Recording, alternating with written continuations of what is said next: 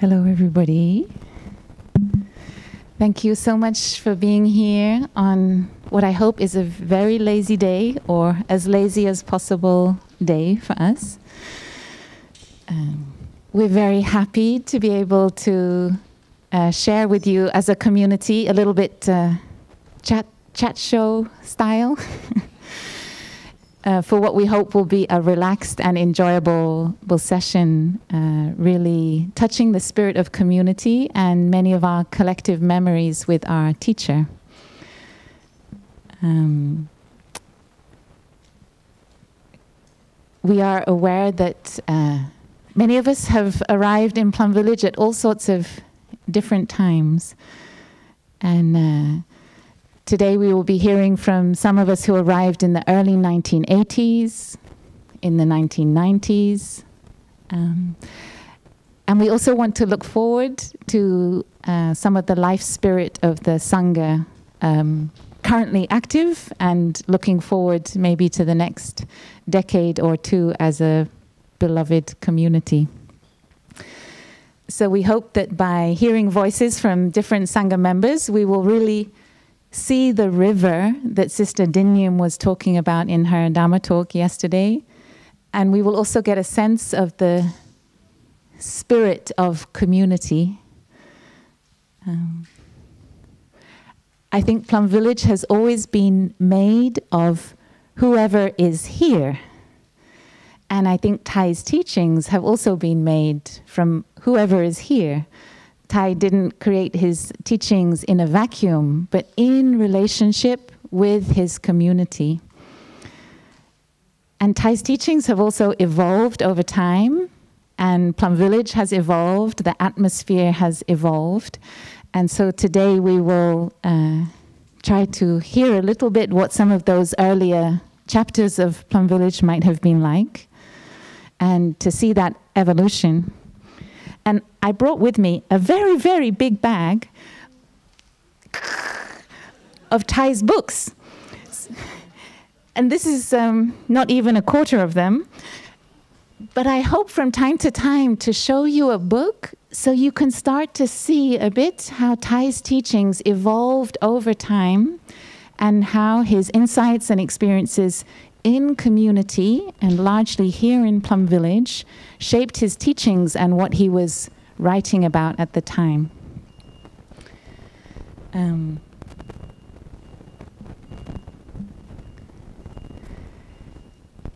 we have a wonderful uh, truck. We have a chance to contemplate the compost that becomes the flowers. In uh, Sister Dinyum's talk, she mentioned uh, uh, the teachings of Master Tang Hoi. And she was saying that when Thay was in Paris, he had a chance to do research in the library there to discover the first Zen teacher who came from Vietnam and brought Zen Buddhism to China. So I just wanted to give one advertisement for this book. If you are interested in the roots of our tradition, it's really wonderful to understand how deep our roots go.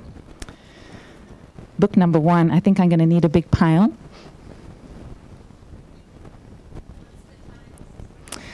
The title is Master Tang Hoi, first Zen teacher in Vietnam and China.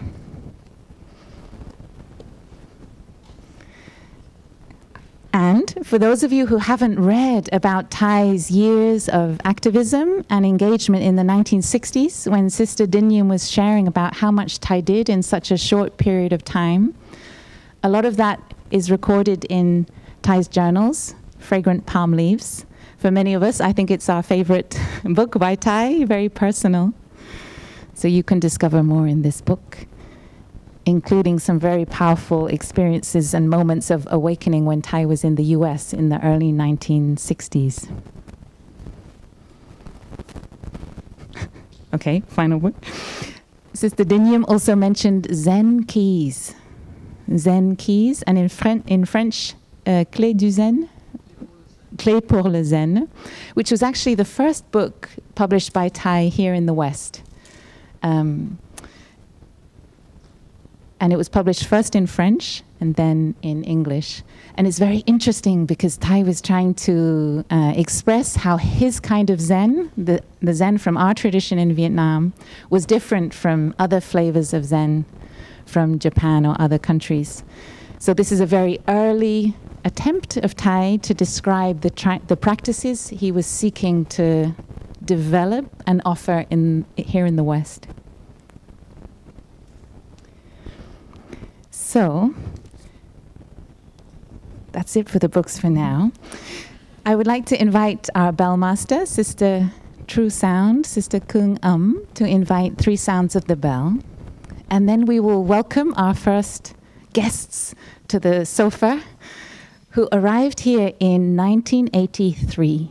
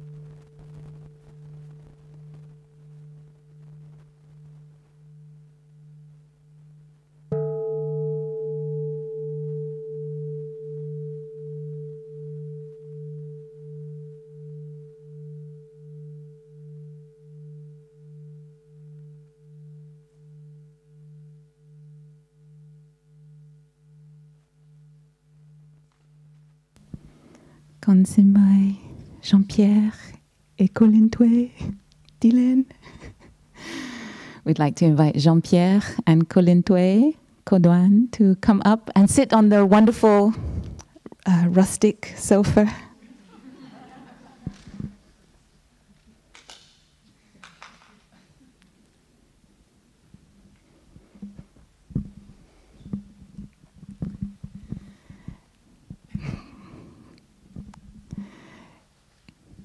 Before we start to hear some different stories.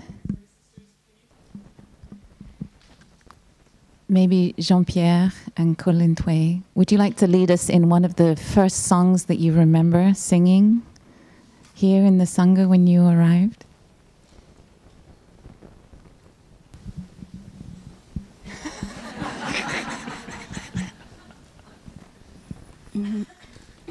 Chasseur, euh, il n'y avait que des, euh, des poèmes. euh, parce qu'à l'époque, c'était euh, l'exode des réfugiés.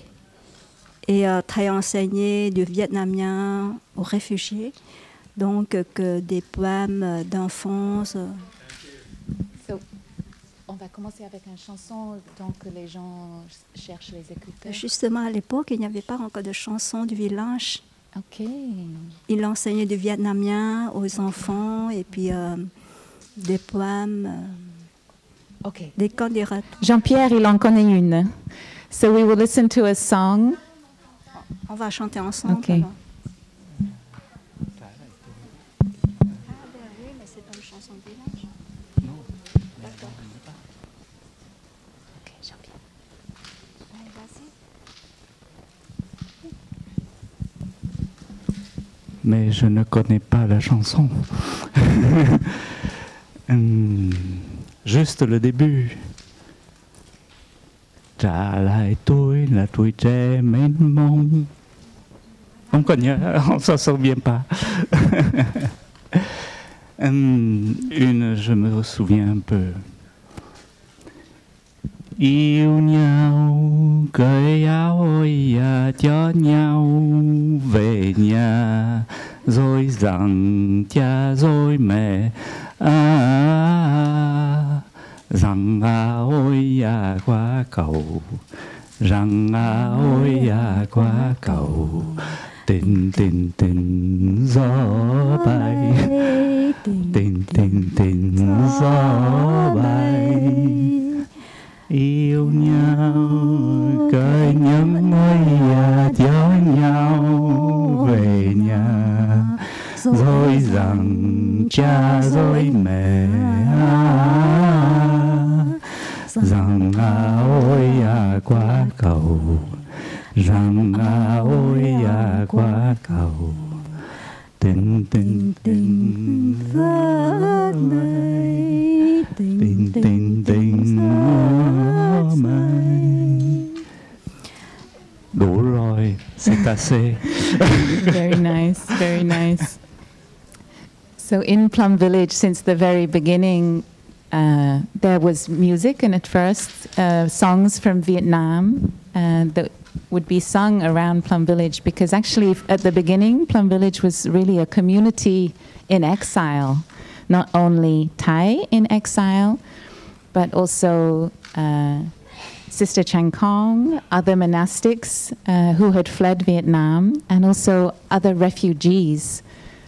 So many people who found themselves uh, exiled and ended up here in France started uh, visiting Thay at the center outside Paris. And then, when that, as uh, Sister Dinyum explained yesterday, when that center became too small, then they found the land here in the southwest of France where the land was much more affordable. And in the summers, uh, Thay was offering not just a place of spiritual refuge, but also a place of cultural refuge where the children could learn uh, Vietnamese and how to write, speak, and sing in Vietnamese, where everyone could enjoy Vietnamese food and really have a sense of home away from home. So maybe we can enjoy one sound of the bell and we try to settle so we can continue. We're sorry that the announcement wasn't made. My, our apologies.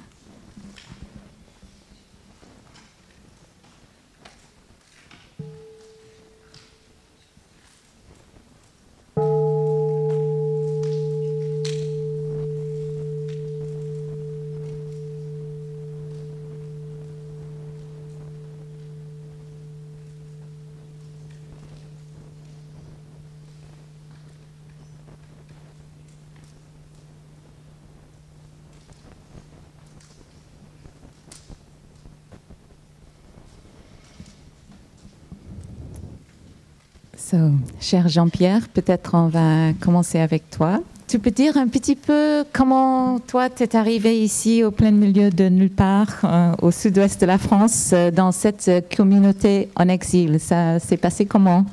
Et qu'est-ce que tu as trouvé en arrivant? Ça s'est passé très bien. Hmm. Moi, j'ai connu le village euh, grâce à la communauté vietnamienne, avec des, ben, des jeunes de mon âge, des étudiants euh, à Lyon,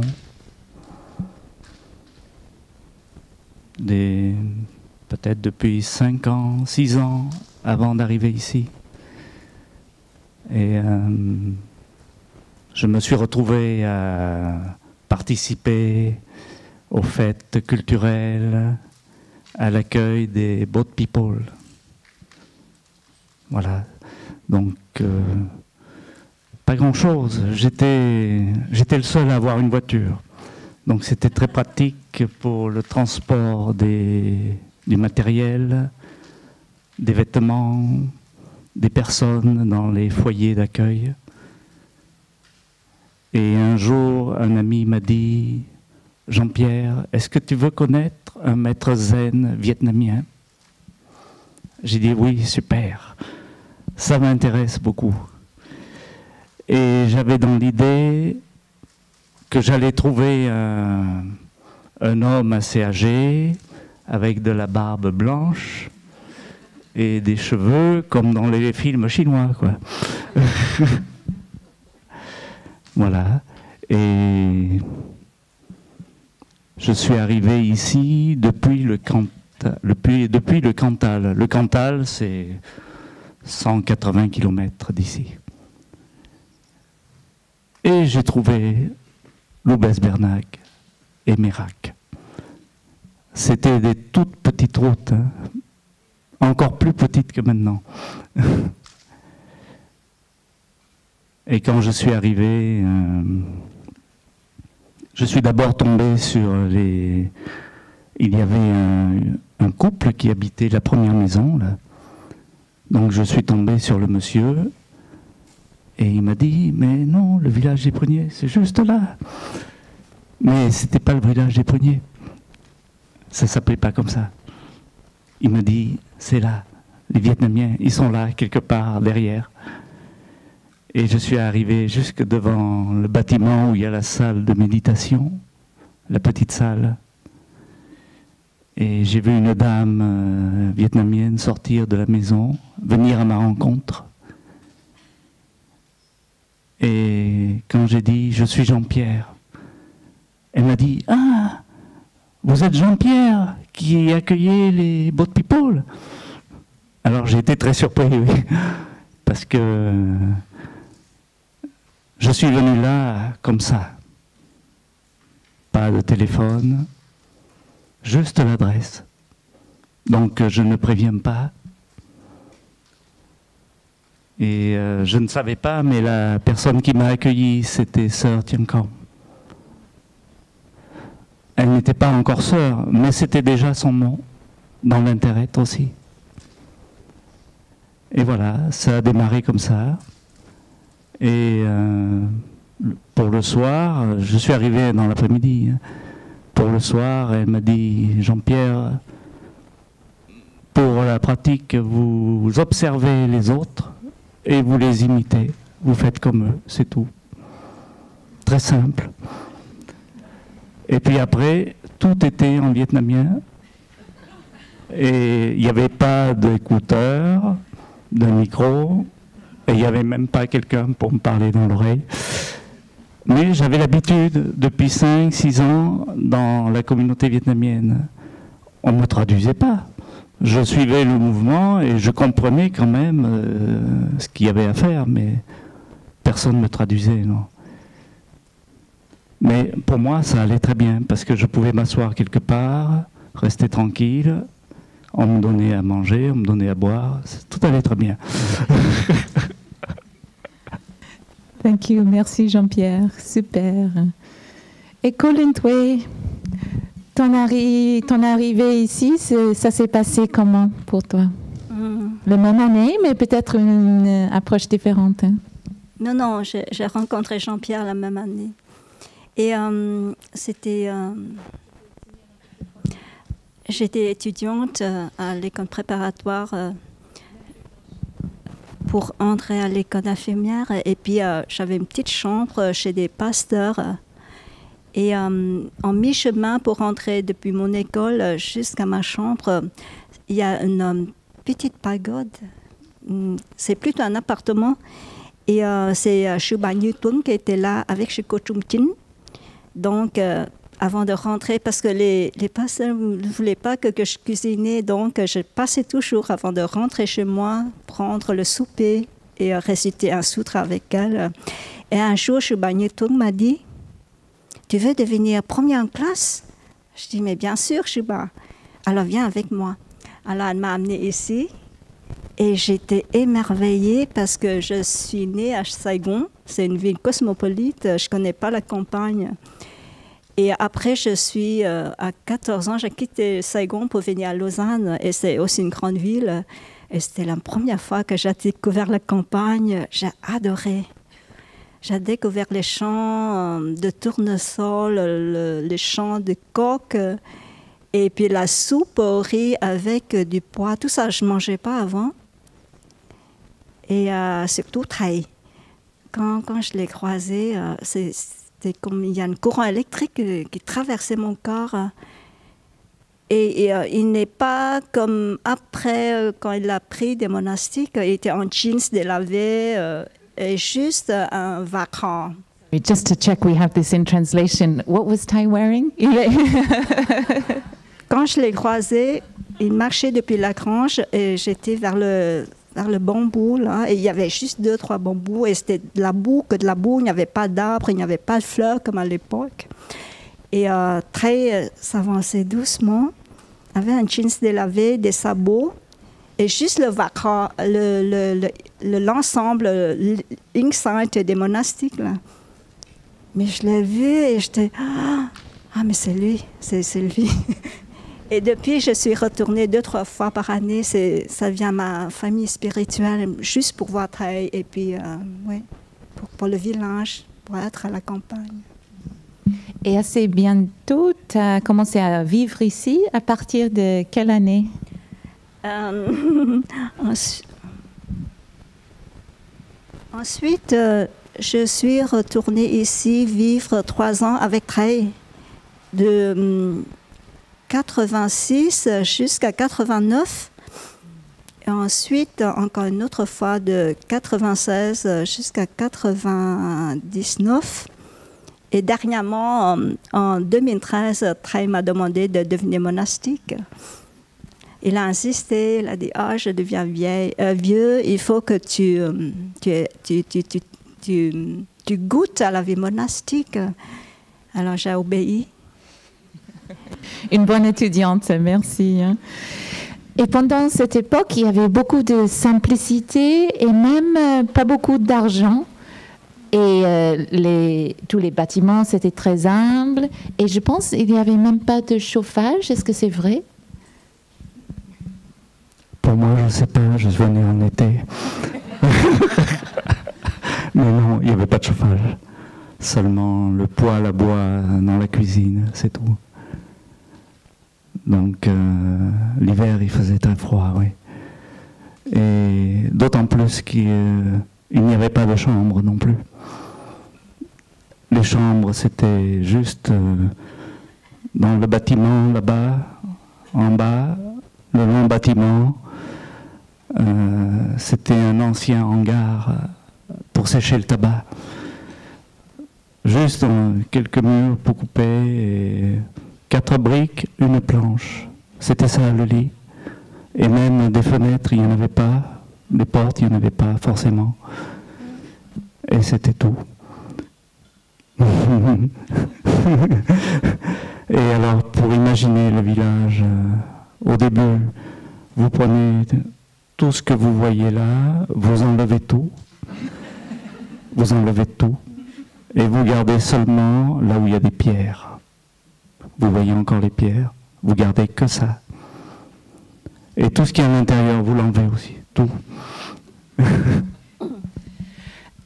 Alors ma question est, pourquoi vous, vous avez retourné? C'est quoi qui vous a attiré si c'était si simple et si humble ici?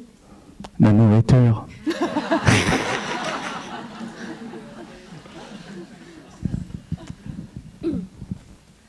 Je dis pas laquelle. Pour moi, c'est plutôt ici.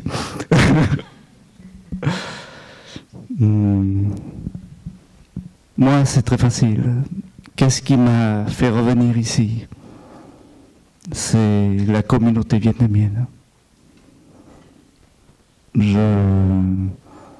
En fait, la méditation ne m'aurait pas fait revenir ici, c'est sûr. Mais parce que quand je suis arrivé le lendemain, est venu me voir. Hein. En fait, il y a eu deux, moments. Le lendemain, il est venu me voir. On n'a pas été présenté. Hein. Il est venu derrière moi. Il a mis ses mains sur mes épaules et il m'a poussé vers les enfants. Et il m'a dit, Jean-Pierre, apprenez à chanter en vietnamien avec les enfants. Comme a dit Lin j'ai obéi. et le dernier jour où j'étais là, il m'a dit, euh, venez vous asseoir avec moi devant les pruniers. Il y avait déjà les pruniers sous la route. Et il m'a demandé, qu'est-ce que vous pensez de mon village? Et je lui ai dit, je pense que les gens d'ici en ont besoin et que vous aurez beaucoup de monde. Et alors, qu'est-ce qui me fait revenir? C'est ça. Parce que, comme a dit Lin Tué, euh, euh ne ressemblait pas à un moine. Il avait une sorte de pantalon comme tout le monde, les sabots, juste euh, le vêtement vietnamien que vous connaissez.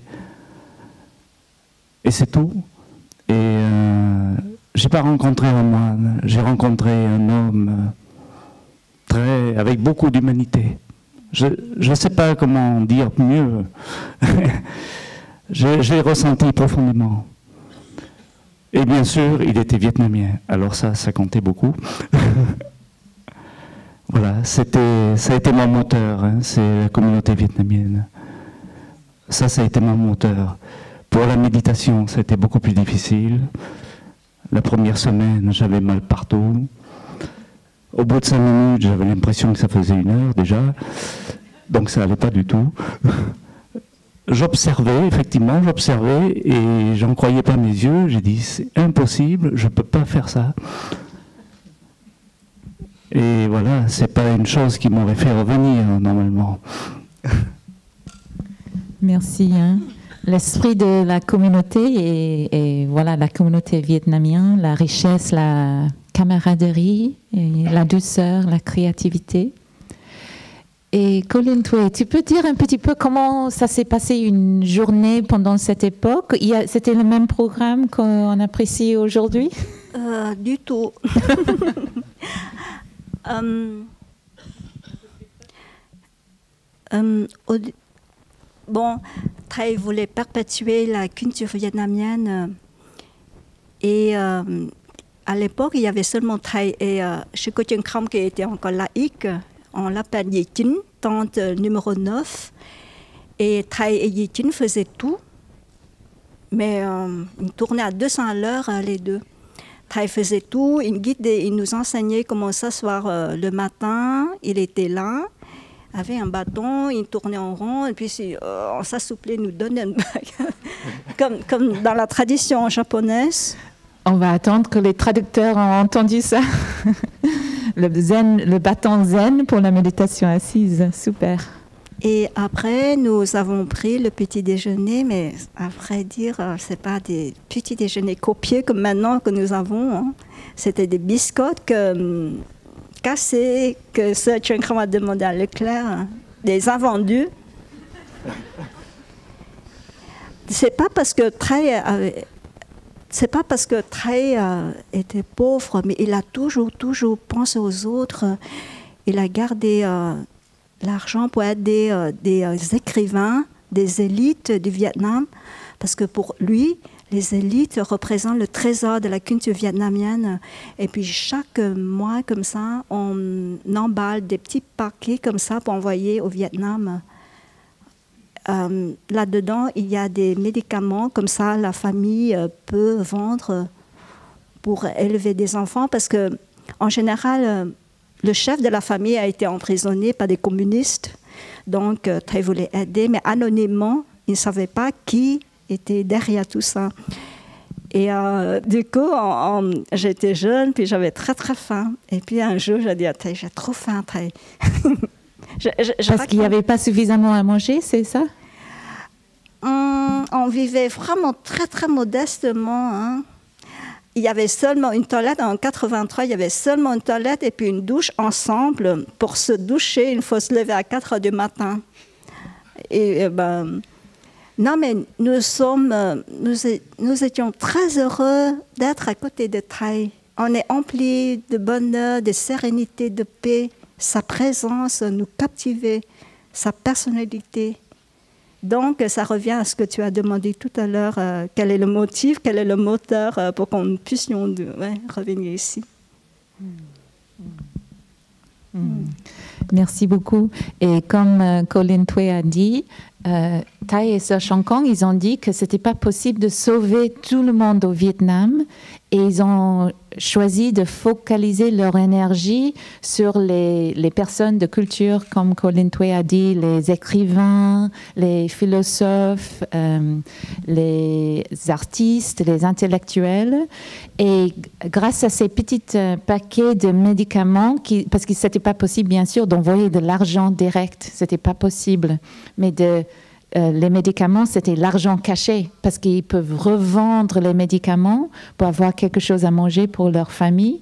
Et comme ça, ça a soutenu ces personnes qui étaient vraiment les trésors de la culture vietnamienne. Et ça faisait partie de toutes les activités, on peut dire, euh, engagées sociales pour le Vietnam. À cette époque, c'était principalement, ça, les petits paquets. Parce que hum, l'exode des réfugiés, des beaux people était vraiment très présent à l'époque. Il y avait beaucoup de, morts euh, dans la mer de Chine. Thaï et euh, ont loué aussi un bateau pour euh, sauver ces gens. Et puis ensuite, ils ne pouvaient plus continuer le travail. Ils sont revenus en France et puis ils ont acheté le, le là, en 82. Et euh, ils ont continué à perpétuer ce travail-là dans l'espoir de sauver la culture vietnamienne. Et euh, la journée se déroulait comme maintenant, mais dans, dans, la joie, dans, la gaieté, parce que Taï voulait qu'on pratique dans la joie, pas dans la souffrance, même s'il y a beaucoup de souffrances qui étaient vraiment marquées, ancrées en nous.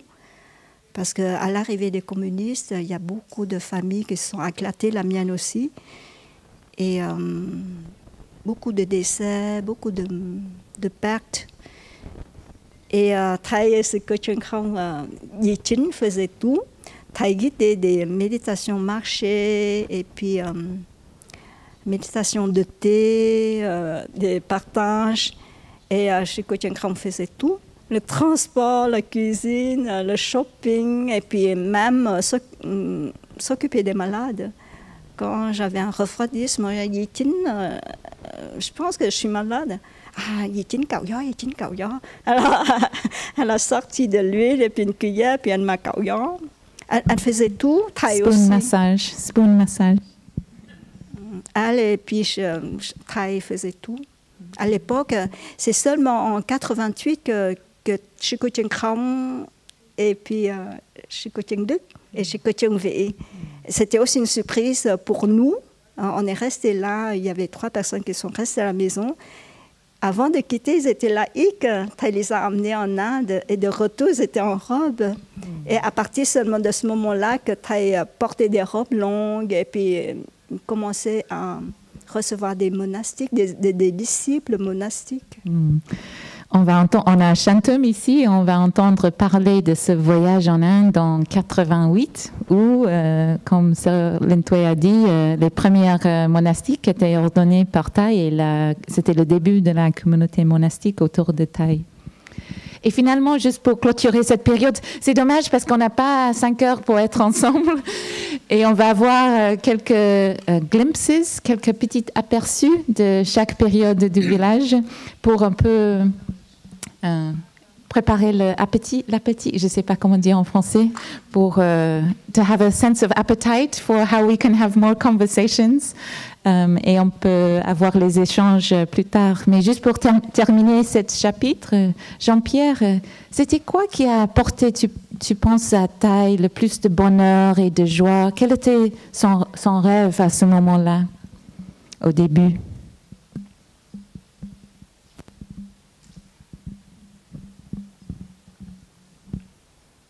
Difficile à dire.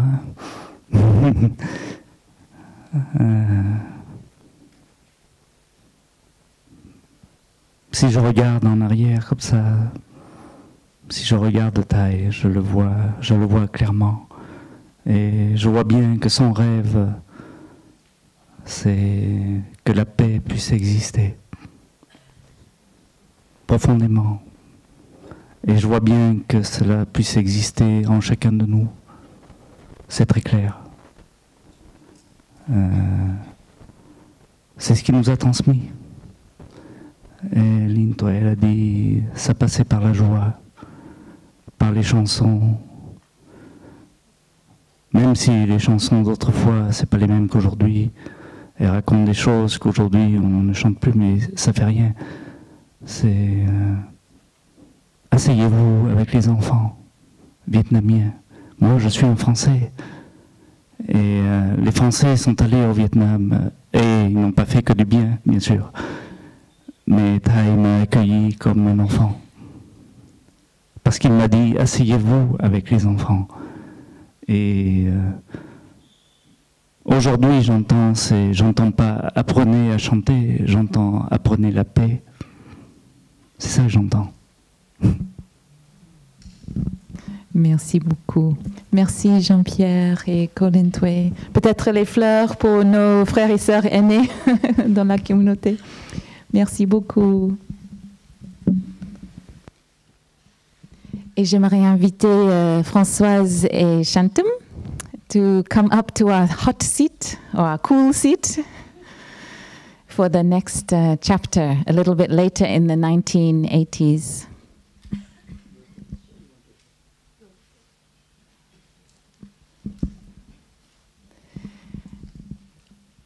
And maybe we can enjoy a sound of the bell.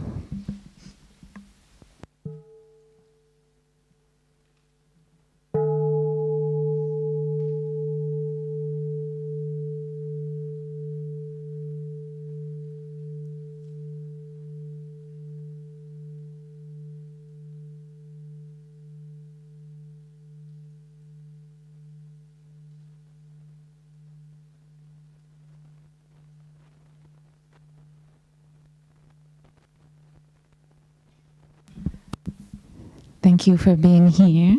So maybe I'll start with Françoise, uh, in English, if I may. Um, so you came a, a few years on, and what brought you here to Plum Village, and what did you find when you got here? Okay, I had moved in 79 to the Netherlands and I worked for the International Fellowship of Reconciliation. and the general secretary at the time was Jim Forest. And from Jim, I learned about Thay because Jim is the one who had spent a lot of time with Thay in the 60s when Thay did the whole tour of the United States to talk about the war in Vietnam, the American war, as it's known there, and the need for peace, and saying Vietnamese people do not want the war to continue, they want peace. And it's not a question of communism or, or capitalism, it's they want peace. And uh, Jim has, he passed away 10 days before Thay, actually, that's interesting. And he wrote a little book called Eyes of Compassion about all this period, which is very nice. Um, so I remember he came here in 82, actually, Jim. And when he came back, he said, or maybe in 83, uh, and he said, I've just been to Plum Village where Thay is living. I think you should go. You might enjoy it. and in 84, we had a, a, council meeting, which is an international meeting. And it was in the community of the Ark, which is not very far from here. And so we decided we needed a car to bring some material. So I said, oh, maybe we can make a little detour par Plum Village and check what it is. And so we did for three days. And that was, I was sold, basically. I mean, Jim had already given me a, a version of the 14 mindfulness training, the precept at the time, which began with do not in all of them. But, you know, having been brought Catholic, Catholic, it was kind of not special or specific or um, and so in eight, what is in, in 89, 85 um, oh I remember one thing also is before that I think we had gone with a group of friends Thay had, had a very warm heart and Sister Chan Khong as well for the Netherlands because the Dutch people were very actively supporting the peace in Vietnam and there were a lot of people donating money for the hungry children of Vietnam, for the work of Sister Chan Khong, for all those little packets she made and sent to Vietnam. And since then, it was very important. So he came, I think, in the early 80s. And Oh, pardon. Yeah, he uh, Thay came to the Netherlands in the early 80s, and he was invited in 85 and in 87, and he gave two retreats. And I was fortunate to be at both retreats. The first one with 20 people, second with 27, which was very special. So you were with Thay the whole time. And I came here in 85 with a friend with the idea we wanted, we had a project with a Dutch Sangha, which was very small at the time, to rebuild the bread oven. I don't think we ever asked Thay and Chan Khong whether that was, it would be of interest to them. We thought it would be a good thing to do. You know, so we were, my friend and I were the advance team to destroy, to clean the whole thing and see what could be saved and what needed to be destroyed. So we arrived late in the night, found one of the old pigsty open with a sort of foam mattress, crashed on there, and the following day we came, knocked on the door, and Thay was there. And he said, Oh, come on, come on. He said, I'm here taking care of Sister Khong because she broke a leg. And Sister Khong said, Hi. She was on the floor with big um, bags, you know, garbage bags full of medicines, and she was making these little packets. I said, Oh. I said, Can I help? Could I write the address? She said, No. Because the government will know immediately if it's not a Vietnamese person and then it will be refused. She said it, it has to be done, so she would write every address herself. Every packet would have a letter in it saying, Dear sister, dear aunt, dear great aunt, dear mother, dear nephew, whatever. And they would be sent, and every packet was good for, I don't remember the exact figure. It's probably in. Do you have the book? Learning to Love? oh, it's not by Thay, sorry. But Sister Chan Khong book is very, very good. And it helped to buy several hundred kilos of rice, every little packet. And she would go and do the tour of the industrial pharmaceutical companies and ask, do you have medicine, especially heart medicine and high blood pressure medicine, which approach the sell by date because I could use them and she would get them for a reduced price and that would all go to Vietnam. So we did the work, but we had a wonderful week with Thay and Sister Chan Khong. At some point, I was trying to cook, and Thay said, No, no, no, no, no, you do not cook an egg like that. And he showed me, and he taught me how to make pickled mustard leaves. I'm not sure I ever tried before because it's not something you commonly find in the Netherlands.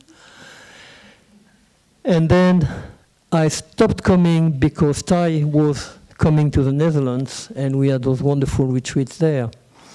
And I came back later in 1990 and then all of a sudden everything was changed because it was not anymore a place for Vietnamese people to learn the culture to because Vietnamese refugees came from not only Europe, but also America, Canada, Australia, to be here and to help the children not lose their culture. And I remember Thay telling, I will plant bamboo, and the bamboo will have to adapt. Otherwise, it will become a French bamboo, but it will be also a Vietnamese French bamboo. And he said Buddhism is the same. It will have to take root in a new country, in a new culture, it will remain Buddhism, but it will have the flavor, another flavor. So that has always stayed with me. And I'm too long, sorry. Mm. Thank you, Francoise. And did you, f- was there any practice happening at that point? Probably. I was not too high on the practice. I, I can relate with Jean Pierre my body hurt. I mean, I tried to sit in the half lotus. I did try the lotus once, and I thought no. So I tried the half lotus, and after several years, realized that my knees could not take it. I remember once sitting, I don't know, I was staying at the upper hamlet because the lower hamlet was a farm, I think. I mean, they were cultivating uh, vegetable and things, and that's where the Vietnamese were staying. So the non-Vietnamese were staying in the upper hamlet. And I remember once sitting in one of the, I think it was, uh, what's it called there? Not Red Can- the equivalent of Red Candle Hall. Transformation Hall. Transformation Hall, and looking at the little mice crawling up and down the walls. And that was a good meditation. and I remember having to, Thay ask, me to help translate or check the translation. And we were talking about meditation marché, walking meditation. And I said, it's walking meditation in English, meditation marchante, pas marché. No, no, no, that uh, you say med- sitting meditation in English and meditation assise in French. So I was not totally convinced, but Thank you, Françoise. So it was really the maybe the atmosphere of mm. community, of activism, of engagement and compassion. yeah, yeah. And, and the person of Thay and Sister Chan Khong, that was really, who had long hair at the time. I've known Sister Chan Khong with long hair, Sister Chan Duc with long hair. So And for you, how would you describe Thay at that point if you had to describe his energy? Very joyful and quiet. I have a beautiful photo which I will send to you where he's sitting and looking at people. He, he was often in the hammock and on the swing. He loved the swing. And he said, I'm a child. And he always talked about being a lazy monk and uh, enjoying growing his lettuce in the Hermitage. And he seemed very laid back. He was not, but yeah, there was a sort of quietness, calmness, and and joy and and goodness, and yeah, he entered my heart and never left. That's the thing, and that's why I keep coming back. Thank you, Françoise. Wonderful to hear. And Shantum, so you encountered Thay um, actually on one of his teaching trips in America. So Thay's first trips to America were to study at Princeton and Columbia. And then he went back to Call for Peace um, in 1966. And then, after all his efforts in Paris to call for peace there and then building the practice centers, first outside Paris and then here, Thay continued to travel to the US to be with peace activists, to offer his teachings, and that was where you met him. Would you like to share a little bit, Shantum, about that first encounter and what came of it? No, thank you, Sister Hien Nghiem, and thank you to all our Sangha for creating space.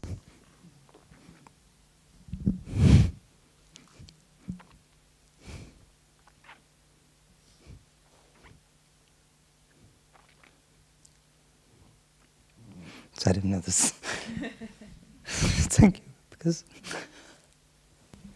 how Okay. much we say that we have Thay in us.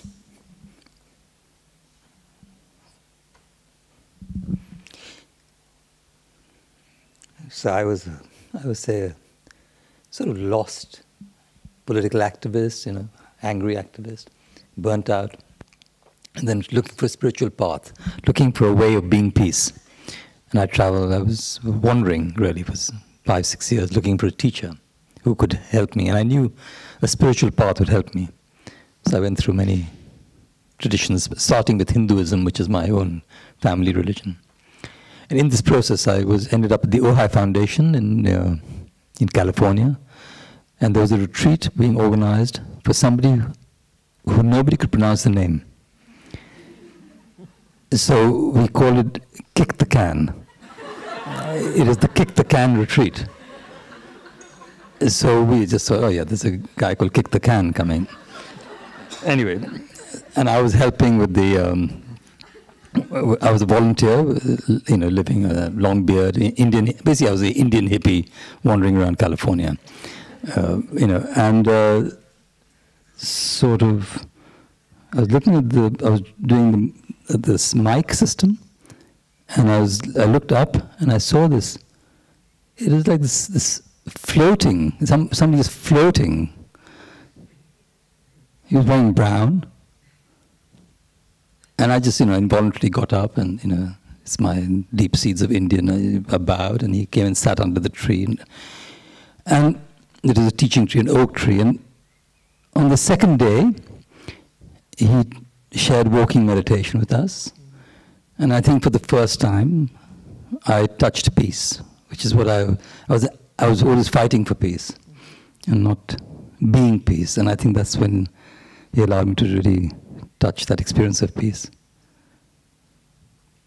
And I think more than what he said, of course, he he shared already that gatha about the mind can go in a thousand directions. You know, I touched, um, and with each step the flower blooms. But I think it is his presence.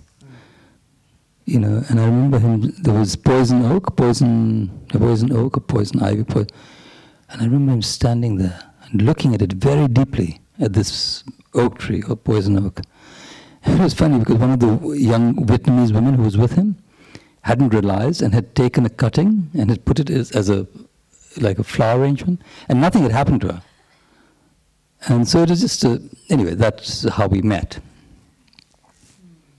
And when he left, he said something which is, you know, in his little, through the car, and he said, help bring the Buddha, the good Buddha Dhamma back to India.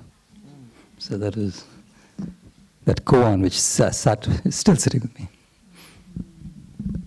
Mm. And you did.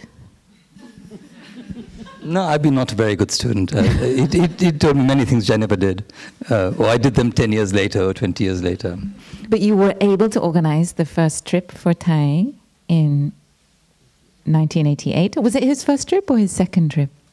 Um, no, he'd been to India before, but uh, he just finished Old Path White Clouds. Um, above the. Voila. and. Um, he, I think he wanted to offer it to the Buddha. He wanted to offer it to the Bodhi tree. So he wanted to go back to India and on a pilgrimage. And um, yeah, he didn't really remember me from the from Ojai. So he asked uh, Joan Halifax, who had been organizing that, that journey, that that, that uh, retreat, and she said I was, you know, kosher, whatever Jewish way kosher. So then I, Sister Chan Khong rang me, and you know, I used to have 22 questions for Sister Chan Khong, 24 questions, and she'd go, allow me to ask one question, and then she'd go, and I mean, there was no chance to. So I think the, I think the rain makes it a little bit difficult to hear. Can you, can you hear still? Half, half. Breathing out. Maybe we will Enjoy sitting and listening to the rain for a moment. Perhaps this shower will pass. We used to have a veranda in Plum Village called the Listening to the Rain Veranda that Thay had christened. He'd given it that name so we can enjoy the rain for a couple of minutes in this spirit.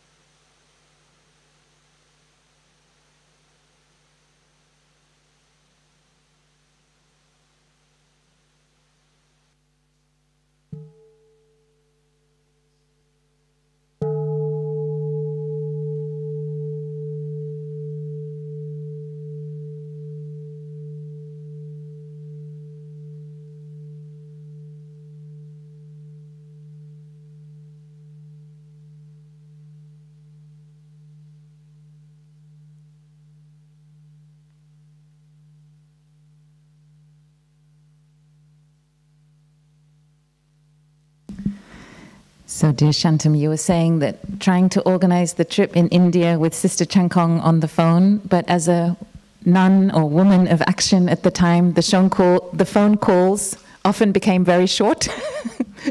when she had uh, something else to do, you just Sister often would uh, hang up. I think when the rain came, it is a bit like feeling Thay has come and passing by. And the bell comes. So that's very strong. And last time I met him, I said, Thay, you know, it's your, it's, your mark is not just the walking, it's the bell. And he went, you know, so after 35 years still, I didn't get it. But anyway. but for me, the bell is uh, very much Thay. Yeah, so Chan Khong and Thay came, I mean, it was a, it changed my life really, because uh, they asked me to organize this journey for 35 days in India. And basically, Thay guided me right through. Uh, I'd, I'd been brought up in those places. I'd been as a child to Bodh Gaya and places. But we just, you know, it was like a retreat. It was, it, it was a retreat on wheels. And at the end of the journey, we had a, actually had a retreat at a, with some Dalit Buddhists. We went to Ajanta. At the end of the journey, he said, uh, You seem to enjoy this. It's very nice. And it's a practice the Buddha suggested. Why don't you do it every year and invite people to come? So we invited Mobi Ho, who translated this book, the next year, but nobody signed up. So, you know, but what, what they also did was they, I mean, well, that's another whole story because they, he really brought, he, he brought my teaching, my teacher, the Buddha, back to a young Indian, and Buddhism has disappeared in India for 700 years. So what he was doing is reseeding that Buddha in uh, the, the Buddha, is, and Buddha is a human being. You know that's very important for, for us and for, for our tradition. So, but he was also very keen that, uh, like on that trip, they shaved my hair. I, I, used to have a beard, long hair, and you know, it's like, but on full moon night they had my and basically, Chan Khong just shaved my hair. So I was sitting there. That was in Kushinagar, in Lumbini, they gave me a robe. You know, I didn't get that. That's why I say I'm not a very good student. I don't, you know, I don't, I don't, it's, it's right there, but I don't see it. I don't. A few years later, I gave the robe back. But, but he was very, in a very gentle Thay way, very pushy. but he also invited me, sorry. And you continue. And then at the end of the journey, I mean, because I, I don't want to take other, too much space, but then they, uh, he said, do this as a practice and come to Plum Village in the summer. And they were really kind. They, they paid for my ticket to come to Plum Village. And um, I arrived, uh, I couldn't find Plum Village. It was a bit like Jean Pierre. I mean, it, where was Plum Village? I didn't have an address. I mean, luckily I went to England first and somebody from the Friends of the Western Buddhist Order had been to Plum Village. So through some network, I found, oh, that's where Plum Village is. You know, just like, hmm. anyway, I found my way here. And every time, oh, and somebody, I think it was Chan Khong's brother or somebody, he met me at the airport and then help me. You know, it was all family. So that was 89. And I came, it was a summer retreat, and it is basically a Vietnamese, even at that time, very much a Vietnamese cultural scene. Thay was very concerned about the Vietnamese young people losing their culture. And uh, so that was, and Chan Khong said, why so late? Like they expected me to come in the beginning. They were effectively giving me a scholarship to be here. And, you know, oh, okay. Anyway, so then that started, uh, yeah, that was the first time in, in 89. I think for many of us, knowing how many refugees there are in the world today is very inspiring to see the, the lengths that Thay went to to take responsibility for creating this uh, cultural refuge.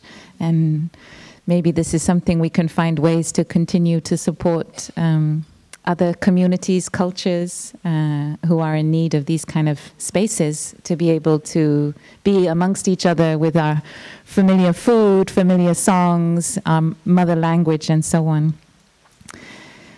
But Shantum, I'd like to backtrack a bit to this trip in India. And uh, we heard a little bit from Co Linh Tue that suddenly everyone came back with shaved heads. So obviously you were one of them at the time. but in particular, three female practitioners, Sister Chan Khong, Sister, now we know as Sister Chan Khong, Sister Chan Duc, and Sister Chan Vi, could you share a little bit about how that happened and why it happened, if you know, where it happened? So it is Sister Fung. You know, my brother still calls her Sister Fung. Uh, Fung. Oh, Sister Chan Khong. Sister Chan Khong was Sister Fung. Her name was Fung. Uh, so we, we only call her Sister Fung. And um, I this was planned before the trip, obviously, because I was only helping facilitate this. So we arrive in the YMCA in Delhi, and you know, then move to Bodh Gaya for seven days, and then well, Thay was very insistent we start in Sarnath. He said that's where we should start because the Buddha gave his teachings, first teachings there, and move to Bodh Gaya, and then we get to Rajgir. Now, Vulture Peak was not special for me, but it was very special to Thay.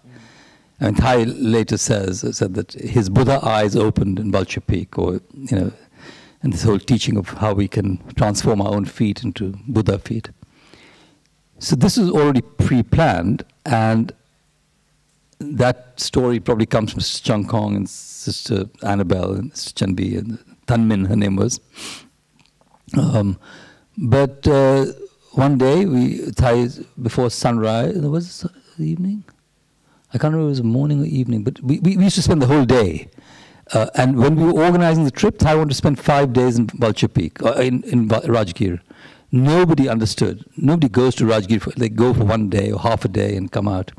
He wanted to spend five days. So when we were doing the planning, and there was no place to stay, it was horrible. It was a hotel where there were rats running around, and it's just to describe Vulture Peak for everyone here, it's a kind of rocky outcrop and with a valley below and hills across the valley. And it actually has a similar atmosphere, I feel, to the Upper Hamlet Ridge.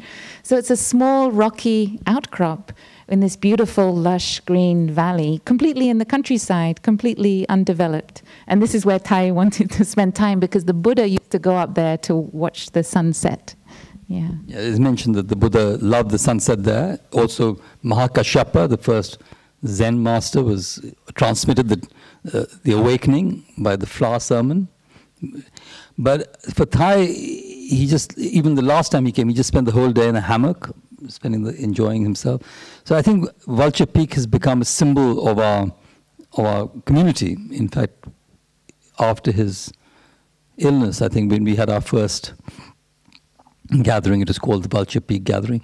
So when the transmission took place, for me, it was just, I was just organizing.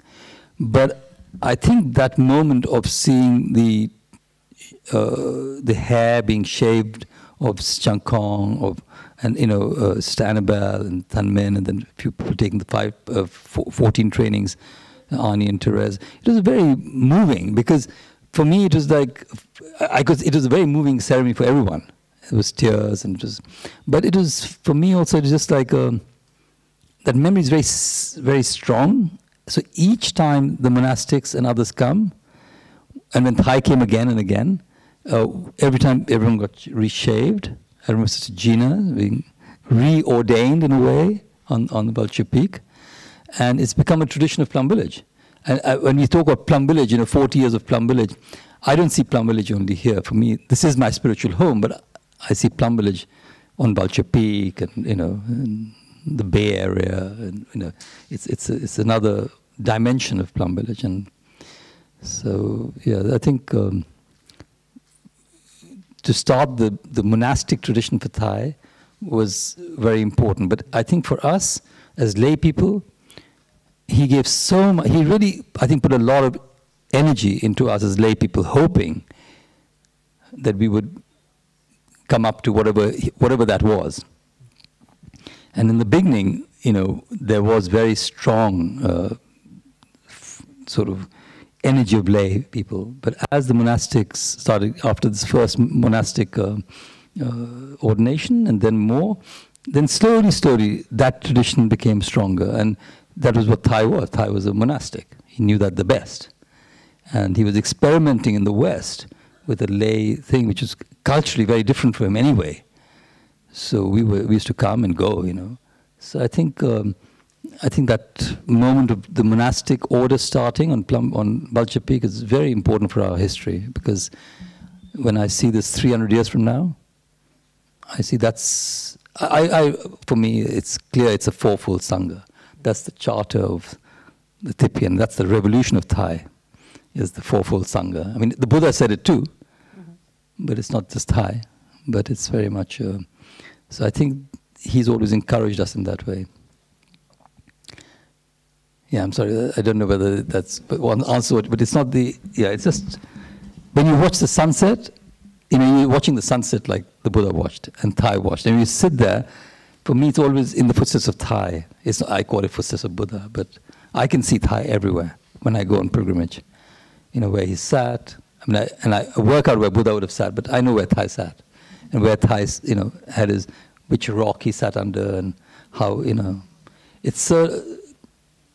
He's imprinted in India, and he's a child in India. You should see some photographs. Actually, I brought a photograph of him in India. Uh, it's in your dining room. That one which is with the mic, with the broken mic, I think.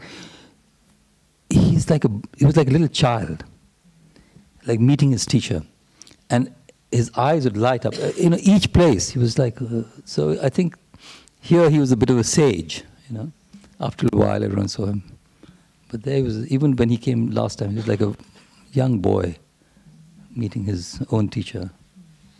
Yeah. Thank you, Shantum. And Thay would always say he was so proud of the book Old Path, White Clouds because he felt he was able to give, give back the Buddha his humanity. And so um, through Thay's studies, through his time researching in the libraries, and through Thay's own practice and being in community, it became so important for him that the Buddha is not a god, but is really a human being. And I think what all our speakers have shared so far is Thay's own humanity and Thay's own humility and joy that really came through. Thank you, dear Francoise and Shantum we have, I have to be a little bit vigilant with the time. So these are just taster uh, words.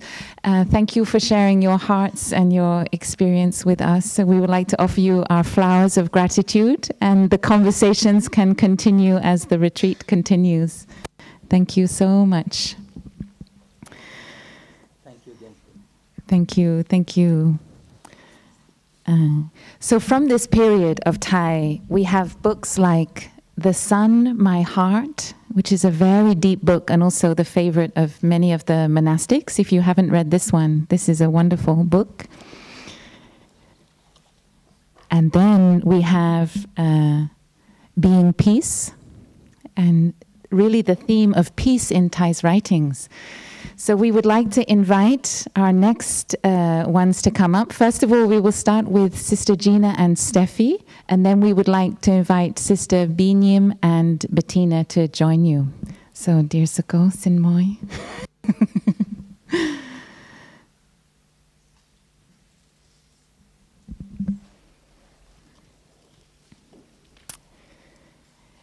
so, around the time that uh, uh, Sister Jina was coming and Steffi was coming in the very early 1990s, as we as we will hear. Thay was really beginning to teach about the sutra on the full awareness of breathing. So, his first commentary on this is called "Breathe, You Are Alive," and uh, it went on towards the end of the 1990s. Thay then offered a 21-day retreat on the 16 exercises of mindful breathing in Vermont, in the US. And that book is called The Path of Emancipation. So you get a sense of the. Sorry. Oh, sorry, this was in Florida. So uh, you get a in Key West. So you get a sense of the uh, the ripening of Thay's teachings about breathing. But maybe we would like to hear a little bit how Sister Jina appeared in Plum Village. How did this happen? And Sister Gina was already a monastic at this time in the Japanese Soto tradition. So, dear Sako, how, how did you get here?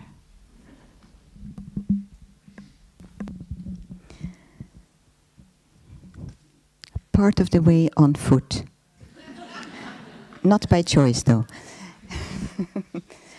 um, So I was, yeah. And which year was it? Yeah. Thank you. 90, the first 21 day retreat in June. Uh, 1990. 1990, yeah. So, yes. Um, so I was already ordained in the Japanese tradition. And after three years in a Japanese temple, Soto school in Japan, um, I had a great need to study the Dharma more because my Japanese was not enough, not good enough to follow all the teachings that were given, of course, in Japanese. Uh, so I came to the West, and somewhere in one of I visited certain centers, and in one of the centers I found a magazine called The Mindfulness Bell, number one. Mm-hmm. Hmm. Yes, and I opened it, read it, and I thought that's where I want to go. And in it, it was the announcement in a three-week retreat. Uh, what was it? Buddhist psychology. I think Buddhist psychology in this place called Plum Village, Meyrac, France. Yeah. So I registered, and um, I knew Eymet. So I, I looked up, and somehow I figured out can't remember how, that it was near Eymet, which is not very far from here. So I thought, okay, I'll just go to Eymet and then I'll, I'll go to this place called Meyrac. So I fly in Bordeaux, take a train, you know, end up in Eymet, and then um, realized there was no way, there was no transportation, direction Meyrac. So I looked in the telephone book and I, I looked for Plum Village, Plum Village, Plum Village, and no Plum Village. So I, then I looked at every entry and I then I found um, Buddhist Unifié uh, something, something, something. Huh? So the Unified Buddhist Church or something in French. And I thought, well, I'll try that one.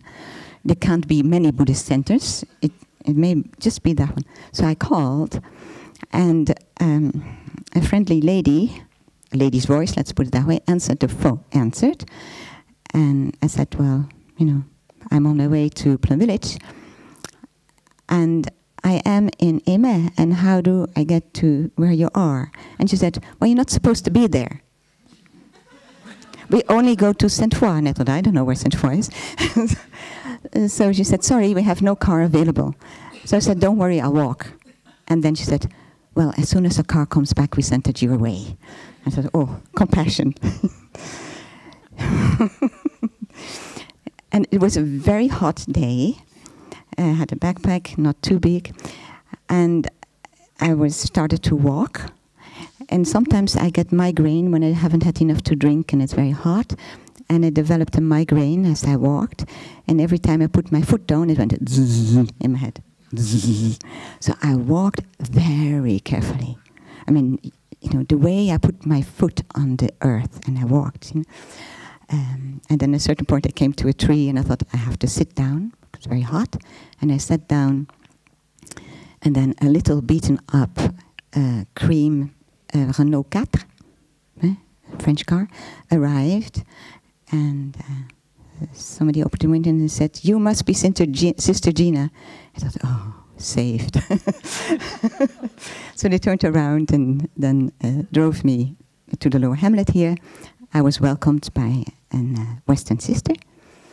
Uh, and then we uh, walked to um, to a room I was going to stay or something. And she said, um, I have to follow my breathing when I'm walking. And I thought, does she have a migraine too?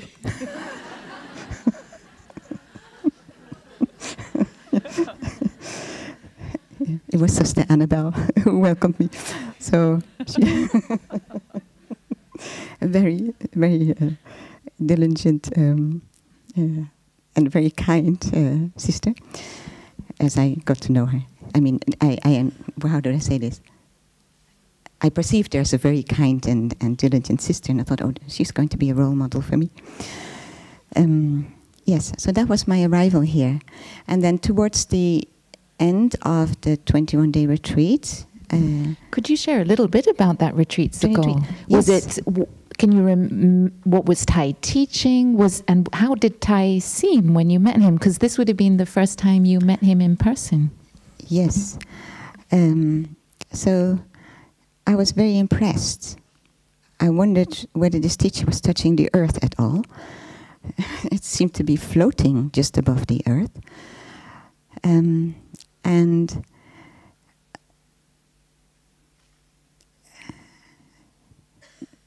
what really struck me was that Thay was speaking um, using a very simple language for a very deep teaching. And I realized I understand the words and I need to be careful not to think because I understand the words, I have realized it. And that there is a, a life of practice and looking deeply and things behind those words. Mm, so that was my my my um, uh, first impression, uh, and a lot of gratefulness, you know, for a teacher like Thay, able to to teach in that way. You know?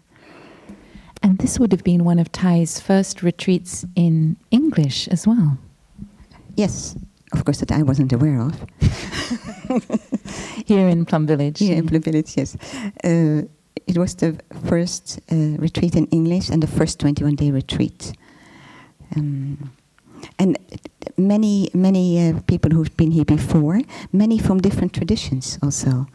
Uh, the Japanese Soto tradition, Rinzai, uh, many, many different tr traditions came together here to study with Thay. Uh, that also made me look, ah, because I only knew the Soto tradition and only the Japanese from Japanese. So I thought, well, this teacher offers something obviously that um, many people are looking for. And I, I, don't mean to say all then to step over to to uh, to the Plum Village tradition, but to deepen or understand their own tradition they were in better. Yeah. And so, what struck you about the atmosphere that you found here then in 1990? What what was I mean, obviously we've heard the buildings were very, very simple. It does not look like a Japanese Zen temple. and what else struck you about the atmosphere here and what was different but also still Zen? Yes.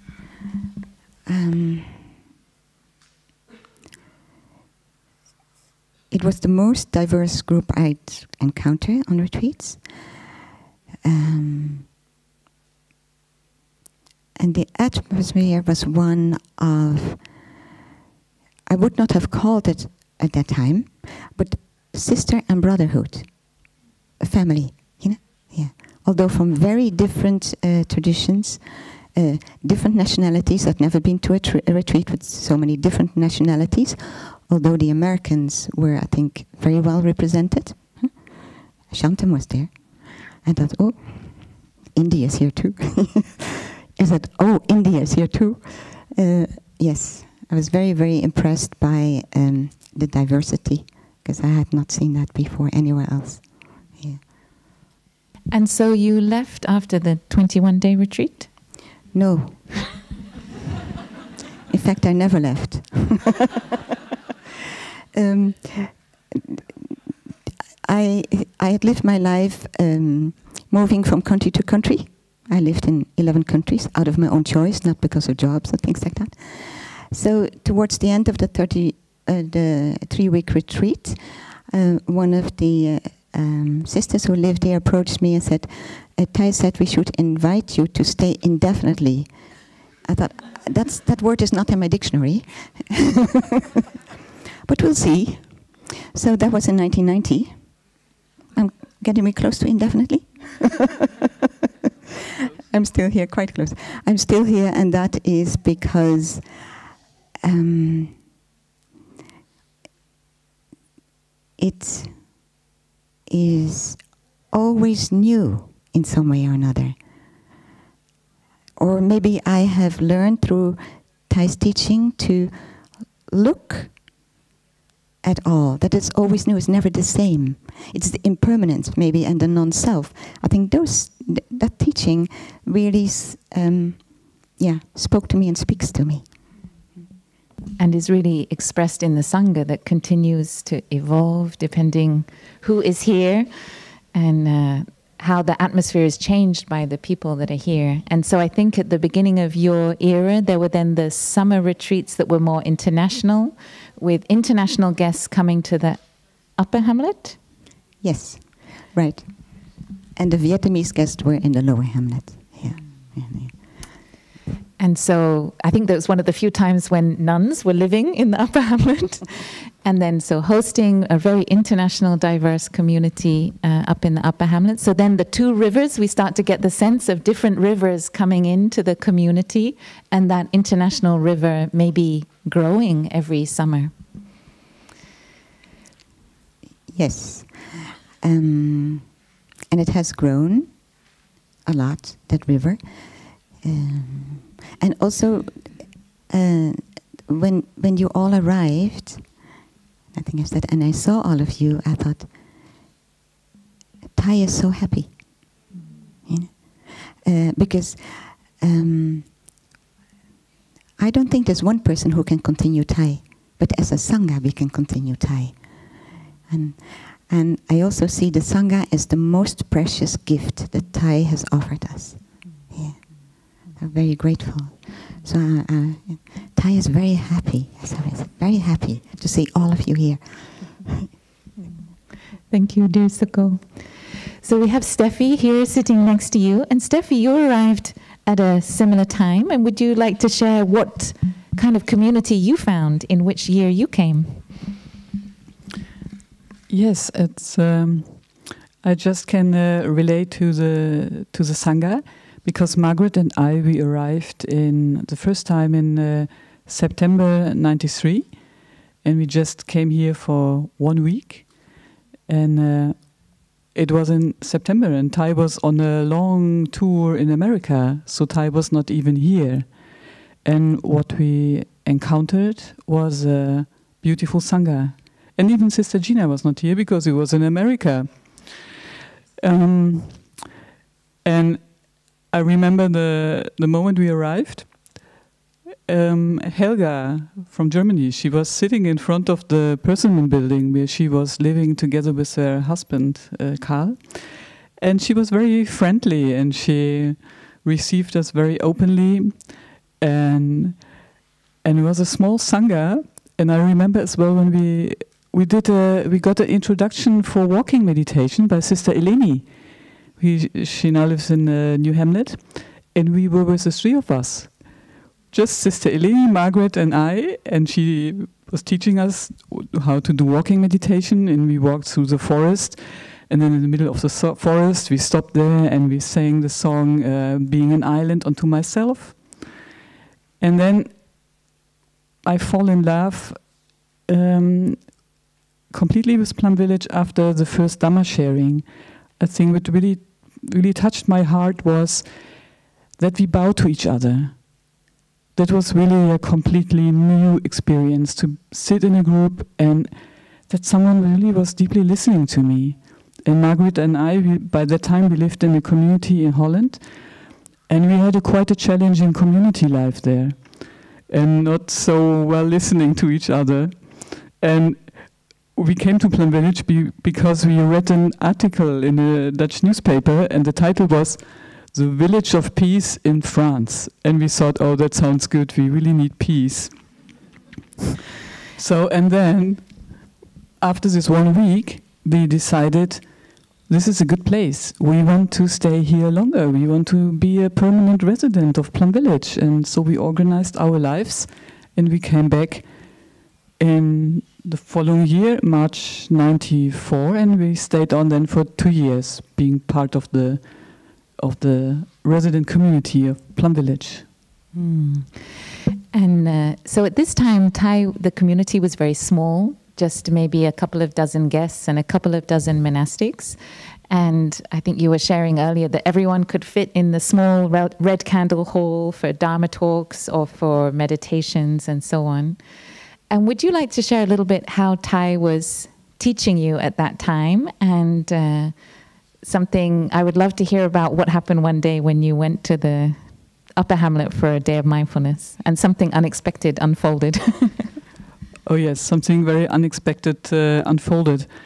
Um, it was at the end of the winter retreat, and um, I think it was the winter retreat uh, 90 at the end of 90, 90, 94, 95. And, and Thay asked us during the winter retreat very often, please write letters. I would like to know how the practice is going. I need your feedback. I need your feedback from my talks. And um, he asked us several times. And then, quite at the end of the winter retreat, we came up to the upper hamlet, and the talk would take in the small transformation hall, so not in the big hall. So you can imagine that big was the winter retreat. So we all fitted in in the transformation hall, and then we entered the hall, and it was a completely different setup. All no cushions, only tables with chairs, like in a school. And Thay no, it was it was an Upper Hamlet, Margaret. you would like to come sit next to me?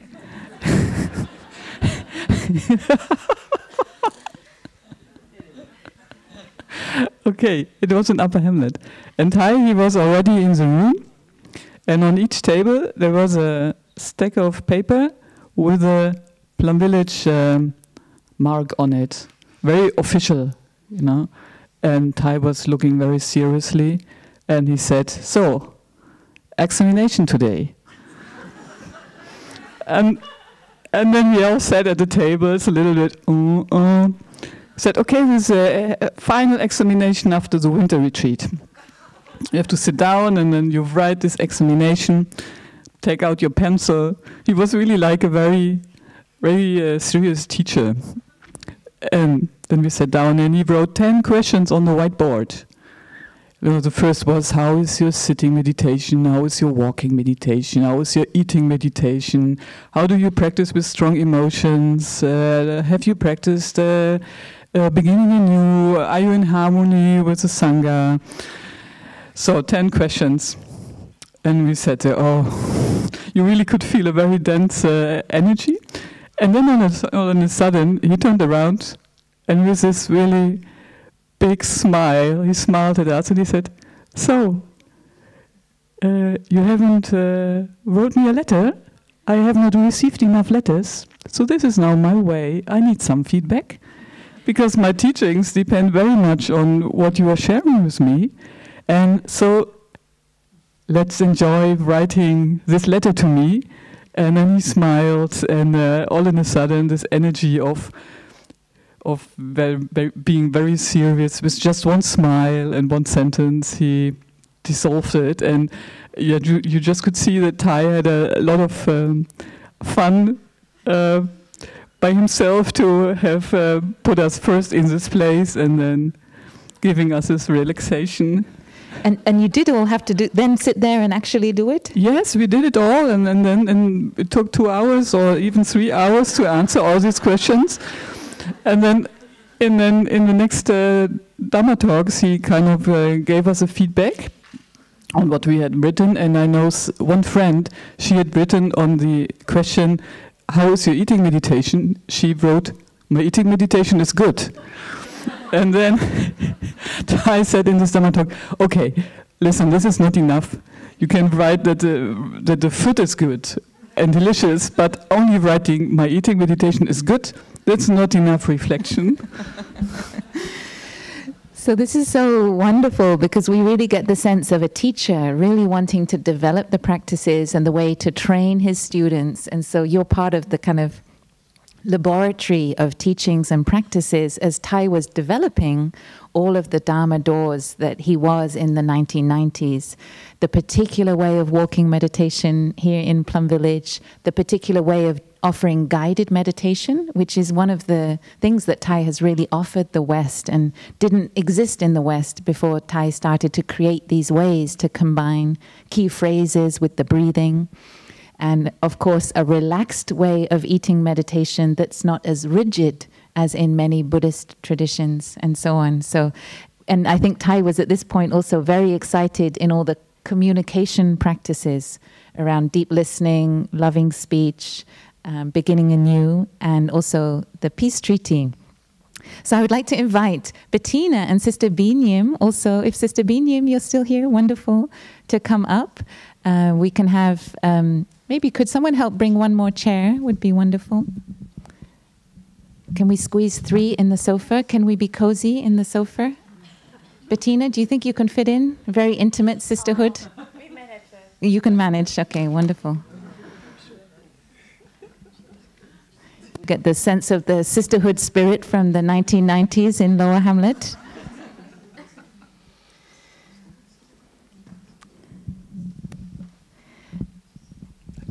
So, uh, Sister Bi Nghiem, would you like to share a bit about your arrival here to Lower Hamlet and what community did you find? In which year? Well, I first arrived in 1993 as a lay person in the Upper Hamlet in summer retreat. And it was a very, very beautiful experience. I fell in love with Bl- I fell in love with Plum Village right away.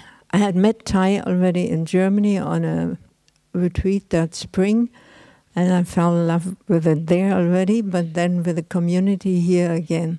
Here, I just, already when I met Thay, just from, I don't know, five day retreat, I think it was, I felt I want to be a nun, and I can't be. What is a nun? You don't even know what a nun is. You don't, you can't say that, but it was in me, and I came here, and I, wow, the free, the freedom, the peace, peace as freedom, not freedom doing crazy things, but the peace here, and also sort of away from civilization in a good way, sort of not the stress and you have to like this and you have to do this, but to live from the inside was very, very, very important to me.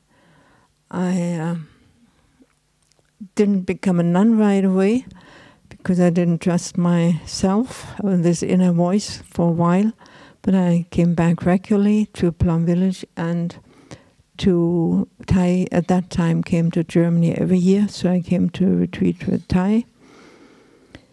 And this deepened my practice, my love for Thay, for Plum Village. I had my own little Sangha at home, and at some point, I knew, yes, I really want and I can trust that I want to be a nun. And was in, well, had to with my mother who was old and sick. I decided to stay with her and let go of that dream for the moment. But oh, it really developed or became stronger that I really trusted it well, while I was with my mother. Before it was a wish, a dream, but then it was, yes, that's what I want to. After my mother died, I came to Plum Village in December 96. And there we had just bought, or Plum Village had just bought the new hamlet.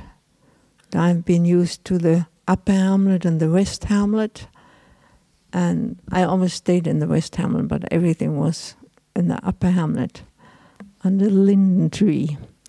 And then uh, I was in the New Hamlet. That year was the first year of the New Hamlet, and no lay friends were allowed that time because uh, the nuns should first, nuns before were in the Lower Hamlet, should sort of find their their uh, find together again in this new place.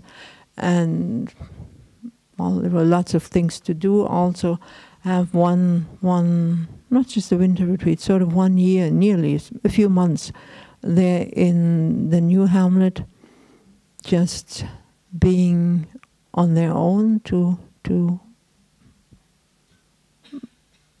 to become the new hamlet sangha and uh, that was very good for me. I could really be with the nuns right away. Otherwise, I would have been with the lay friends and somewhere the nuns, but so I could be there from the beginning.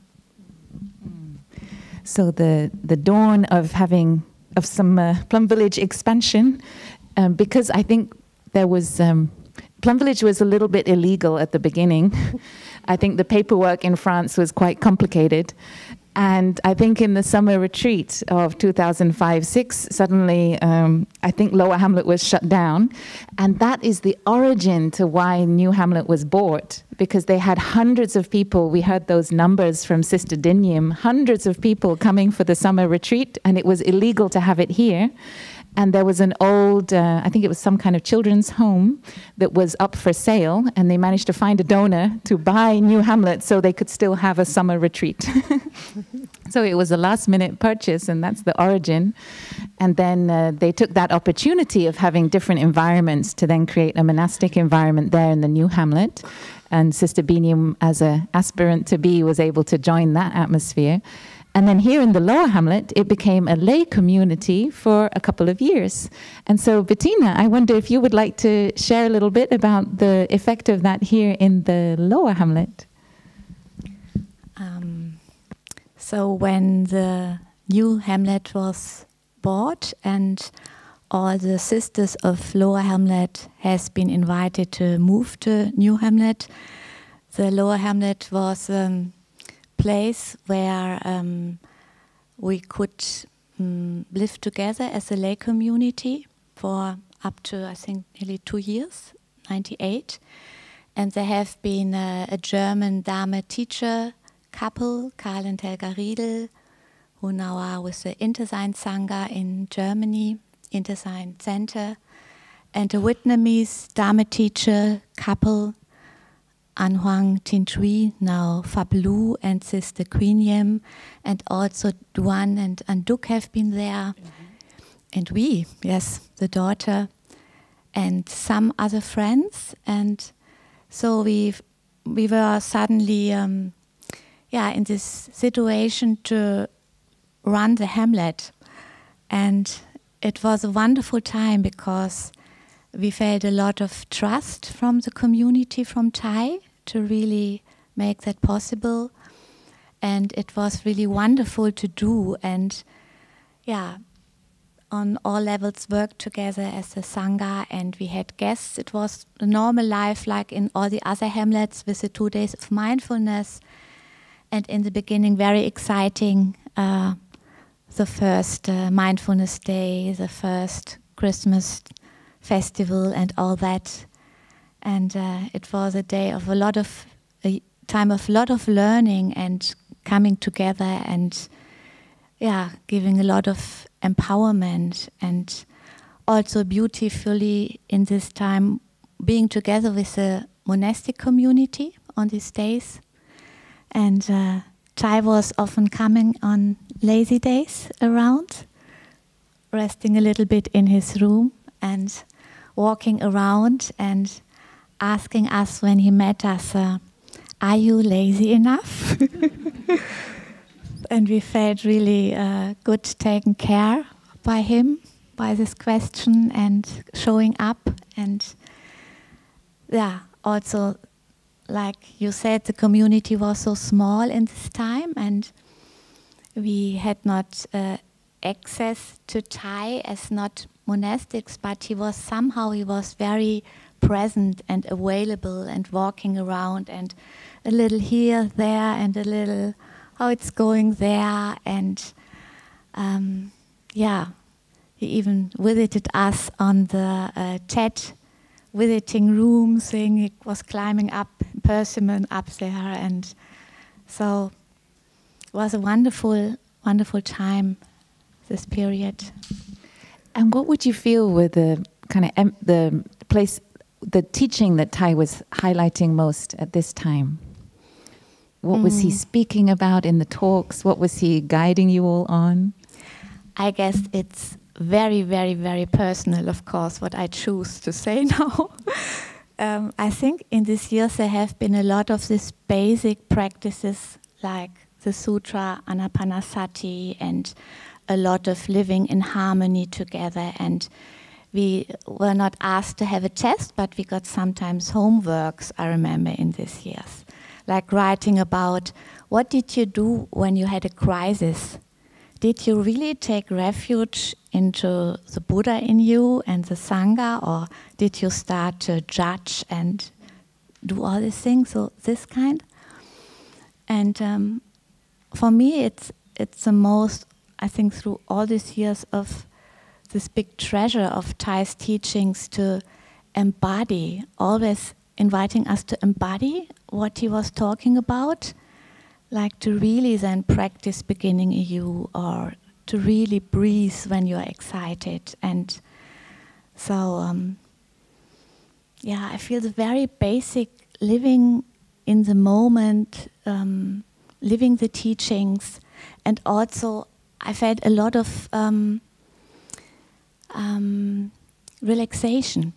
You know, this, are you lazy enough? It's for me also a sentence of this time, of uh, really, we had a lot to do, of course, with the Hamlet, but the main thing was how is the energy you are doing things? Always coming back to what is your energy and how is your being, and then to move out and do your activities. I felt somehow it was very fundamental, very basic, very grounding. A good, uh, a good um, memory to have the art of being peace, and also while in action. And uh, Sister Bi Nghiem, do you have similar memories of this time? What struck you most about this special period in the 1990s? Well, after one year, I came to the lower hamlet. Sister Jina had been come the abbess, and uh, it was no longer lay, la, hamlet then. Was it two years? From all I know, it was ninety-eight probably. And then uh, we were only twelve there. I think they started with eight, and then four of us came down, came from New Hamlet here and we were 12 and summer retreat. People came. It was fall here. And 12 of us had to do several things not just pot washing but this and that and that. But i loved it very much. It was very beautiful for me. When you asked bettina what was the teaching there all of a sudden it popped up to me. I mean Thay i can't say. I remember that when i came as an aspirant the first two winters Thay was teaching the sutras. That I know. He just took the chanting book and and taught sutra after sutra. And I remember that sometimes, some uh, in the middle of the sutra teaching, he said, talked about sister so and so doing this and that. He always his teaching was very personal. He never just taught a sutra, but he explained then with the problem of a sister. Um, it was very, very applied sutra. That I know Thay's. Uh, it never. We should never just study the sutras, uh, any texts, if they don't apply to our life. If we don't practice it, there's no sense in knowing them. And when you, as Bettina came up in me, that at that time Thay was sort of, uh, for a while, advancing the idea that every, not just every country, but every big city should have a mindfulness practice center without monastics, just lay people. And uh, that's when Carl Schmid brought, asked Karl and Helga to leave Plum Village to come and uh, he bought Intersein Center in Germany, and they are to this day uh, the, the Dharma teachers of Intersein. That was they left here, I think, 2000. I'm not totally sure. 90. I ordained uh, in February 98. I think they might have left 99. And uh, I think worldwide it's the only one that at least that stayed longer. But that was a big thing for Thay at that time. Mm. So Thay is sort of developing the practices here in the community context and setting of Plum Village, and then really inviting everyone to experiment back in their hometowns and cities. And I think the 1990s was also a period when a lot of sanghas started all over Europe and all over the US. So it was around this time that Thay was teaching the heart of the Buddha's teachings. So, from his research, the elements that he felt were the most important for all his students to understand. and this remains on Amazon, one of the best-selling Buddhist books in the, in the English language. And uh, it was around this time we have the book uh, Touching Peace The Art of Mindful Living uh, in Community. The book of the poems, the gathas that you see posted around in the bathrooms and the bedrooms. These are translated uh, from the tradition and then really applied here in Plum Village. This book is called Present Moment, Wonderful Moment. And there's a new edition of that uh, out now. And Thay's kind of number one uh, book next to The Miracle of Mindfulness, Peace is Every Step, also came out at this time. So there was really, with the presence of the community around Thay, he's really exploring what would a community of peace look like and what would practices of peace look like. So I think we're uh, halfway through the books. we wish we would have more time. I have two more sofas of people I would love just to, to bring up here, and I hope we can get through everyone by dinner. So, thank you so much uh, to our sisters, uh, lay and monastic from the 1990s. Thank you so much. And I would like, thank you, yes, flowers and gratitude for you all being here. Thank you. So I would like to invite uh, Lisa, Reneke, and Jassy to come up.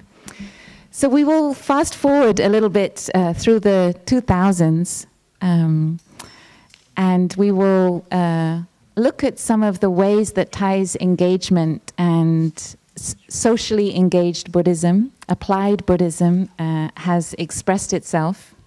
We will be cozy on the sofa. This is an intimate sisterhood sofa. Maybe we can listen to a sound of the bell to uh, refresh our hearts and our breathing and arrive into this uh, precious moment.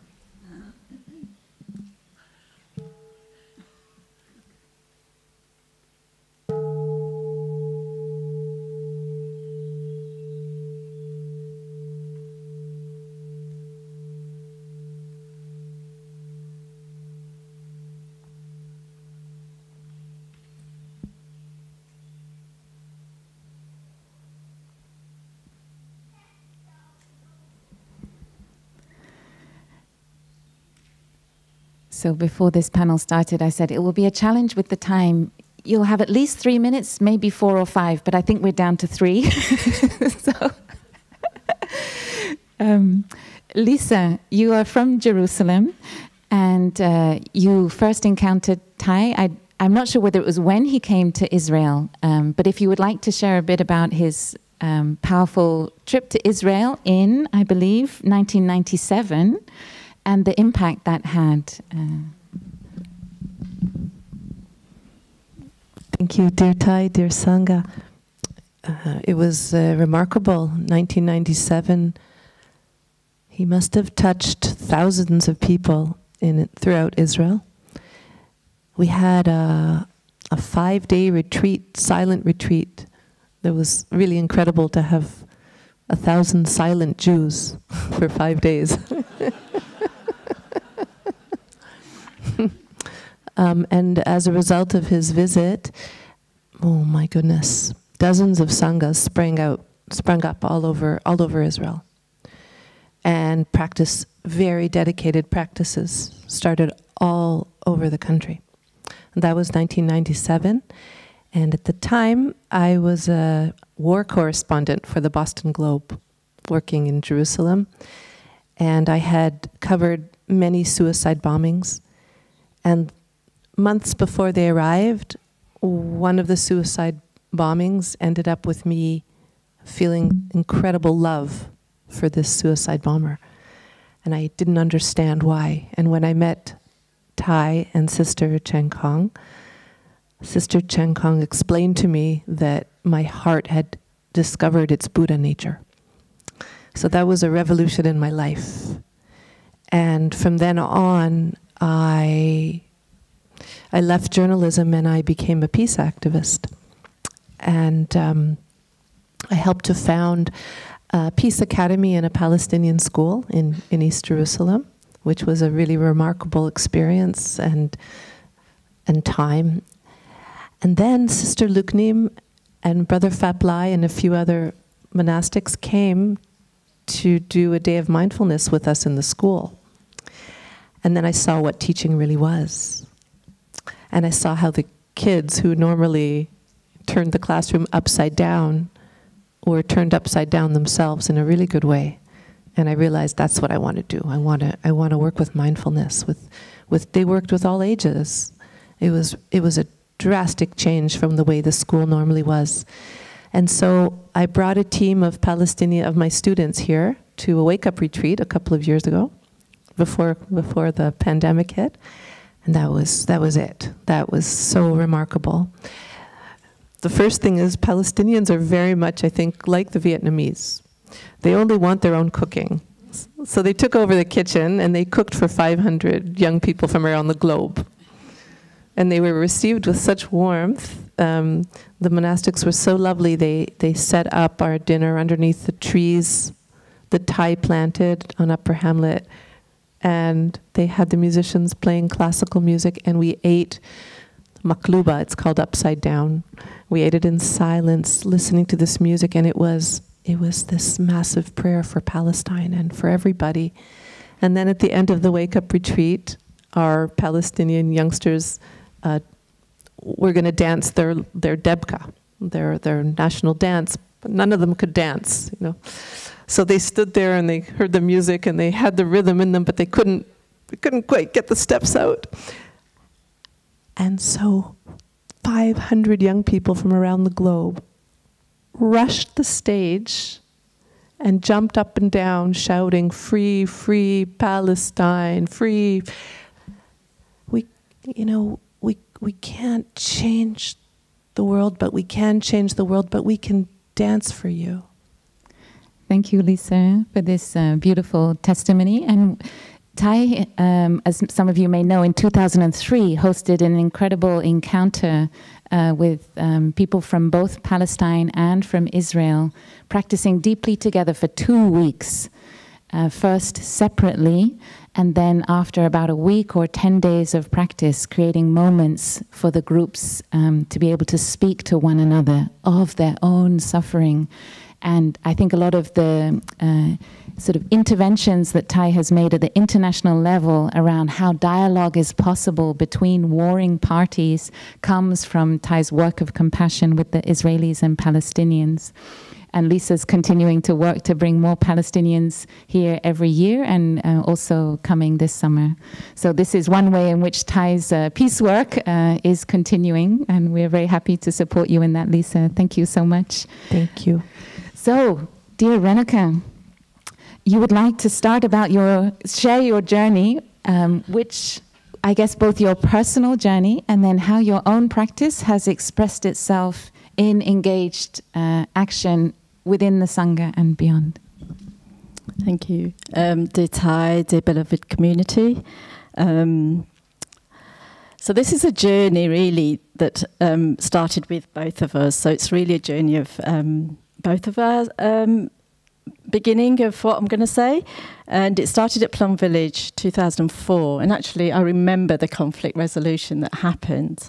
And uh, 2004 was like an exploration to oh meditation yes i've heard of meditation it's it's part of my culture but i'm not quite sure what that means because it was kind of lost because i was i grew up in england and there was not a lot of meditation going on there um, and the things that i did understand was um, was kind of a bit mystic, so I didn't really understand any of it. So then I went in search for what meditation was, and it's what brought me to Plum Village. And um, on that year, I also um, recognized that there wasn't many teachers that were not like from the East in the West. And so that was kind of my personal journey, really, to kind of explore that side of practice, and Thich Nhat really did speak to me in many ways. Um, and so did a lot of the monastics. And one of the monastics I'd like to mention is Sister Jewel, Kaira Jewel. Um, she's now derobed and she's doing a lot of the uh, practice and teachings out in the uh, US. and she was kind of like a mentor to me in a way that she really, uh, well, she kind of she had an eye on, on, on, on people like me, let's put it this way. And she asked, she invited me to kind of speak about my practice and my trainings, one of the five mindfulness trainings in the UK. And it's not something I do. It's, this is really not me. I do not do big presentations. I'm pretty shy.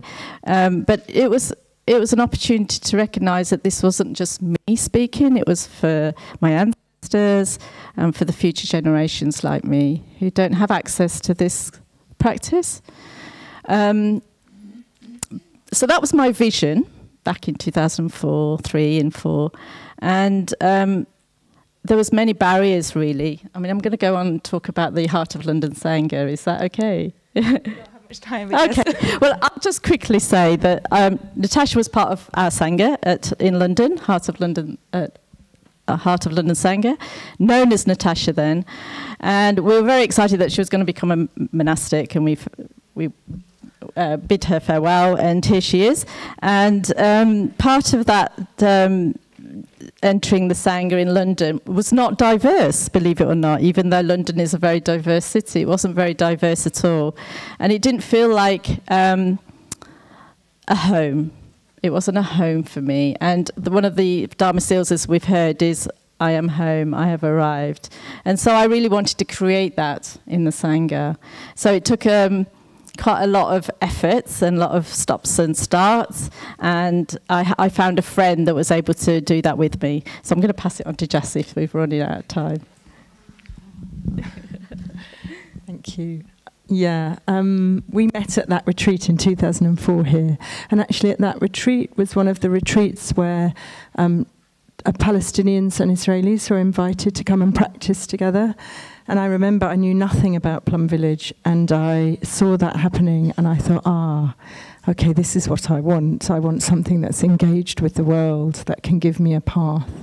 And yes, we met here, and um, I think that um, something that happened for me is that I had enough, for various causes and conditions, I had just enough awareness to realize what a, what a challenge it would be um, to be in the Sangha um, as such a um, minority in that environment. And, um, and me and Renika just clicked and we became very good friends. And um, she has built the Colours of Compassion Sangha in, in the UK and in the in the heart of London to really make a home. And it's been a long journey where we we had many times of coming together, ju- not just us, but us and others, slowly, slowly, slowly, and organically, to build friendships and, and to um, build both awareness um, with the with the white people in the sangha, and just to slowly build that. And I know we haven't got time to tell the whole story,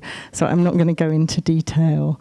But I think that um, I really want to honour you because you've done something that I haven't seen anywhere else. I don't know if it's happening anywhere else, but so far I haven't seen in this tradition in Europe, which is to build that home um, where people can um, just come and, and find their solidity to be part of this Sangha in Europe. Yeah. Renika, would you like to share a little bit about the joy of creating the colors of Compassion Sangha? Joy and colours of compassion are synonymous because um, we practice in the um, spirit of honouring our ancestors. And if you have Together We Are One, you'll book, you'll see that um, in that book there's many stories of people um, um, who are not white sharing their stories of um, healing from the hurts of, of the oppression, of the racial oppressions. And you know, this is 52% of the population we're talking about. So it's, it's, it was really honourable to know that things, that we could have voices, we could have that voice, and um, also practice in the spirit of honouring and respecting our own root tradition alongside this tradition. And um, it had many meanings, and it's very eclectic. It's not just one homogenous group. So we have very many cultures and richness and times of celebrating um, our own practices alongside um, Thay's practices. Um, so it's, very, it's been very joyful to have the retreats that we did have in the UK, led by um, Kaira Jewel. Uh, we had three of those. It was filled out, and I do believe that when the first um, BIPOC POC retreat happened, um, there was that was filled out to about 500 people um, in the US, and it was all um, approved, I guess, by Thay. He he really supported this practice. He supported these um, retreats. He saw the um, th- the amount of um, healing that was taking place. Yeah. Thank you so much, Renika, Jassi, and Lisa. So we hope that uh, this very brief testimony um, can also inspire many of us in our local sanghas to really see how we can support and empower uh, the non-white members in our sanghas to have safe spaces, uh, to really ask how we can be of support, how we can trust and entrust so that those spaces can take place. And we hope here in Plum Village to be able to create more such spaces for people of color so that we really have the representation, the diversity that is reflective of the world.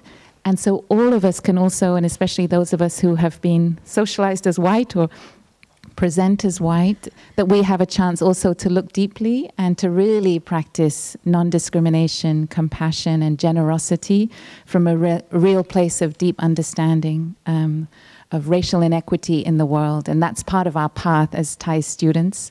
And for me, when we speak about this as a community, I feel we're really honoring the legacy of Thay's friendship with Dr. Martin Luther King. So if we see ourselves as Thay student, this is also part of our work to do and to support. So thank you so much to our wonderful sofa here present. And uh, we heard the we heard the dinner bell. But if, uh, if you would like to return to your seats, I would just like to introduce to you Uli, uh, Annika, and uh, Dorothée, if you're still here, Dorothée. Yes, please just come up briefly, and I would just like to, to introduce you. We wanted to show also the future of Plum Village and many of the directions where Thay's work is going. So we have Annika representing the international Wake Up community, Dorothée representing our Happy Farms, uh, which are our organic vegetable farms uh, that Thay insisted we should start developing here in Plum Village. And Uli uh, from Germany representing our Earth Holder community. Uh, and Thay's teachings to bring uh, love, peace, and healing to the earth. So I wonder if I can give you each one minute with the microphone, and then we promise we'll go and serve our dinner. So, Annika, a few lines. Um, dear Thay, dear Sangha, one minute.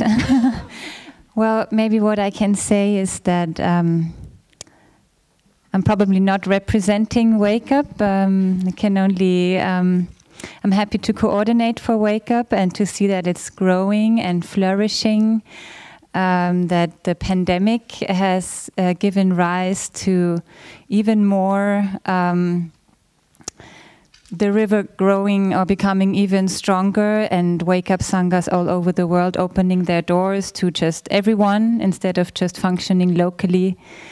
Um, I've seen Lian in many online meetings, so it's now he's sitting here as an aspirant and um, is so engaged also with Extinction Rebellion, and I think um, uh, showing very beautifully the, the spirit of wake up of young people who are happy to find belonging in a, uh, and, and empowerment through mindfulness, through the practice.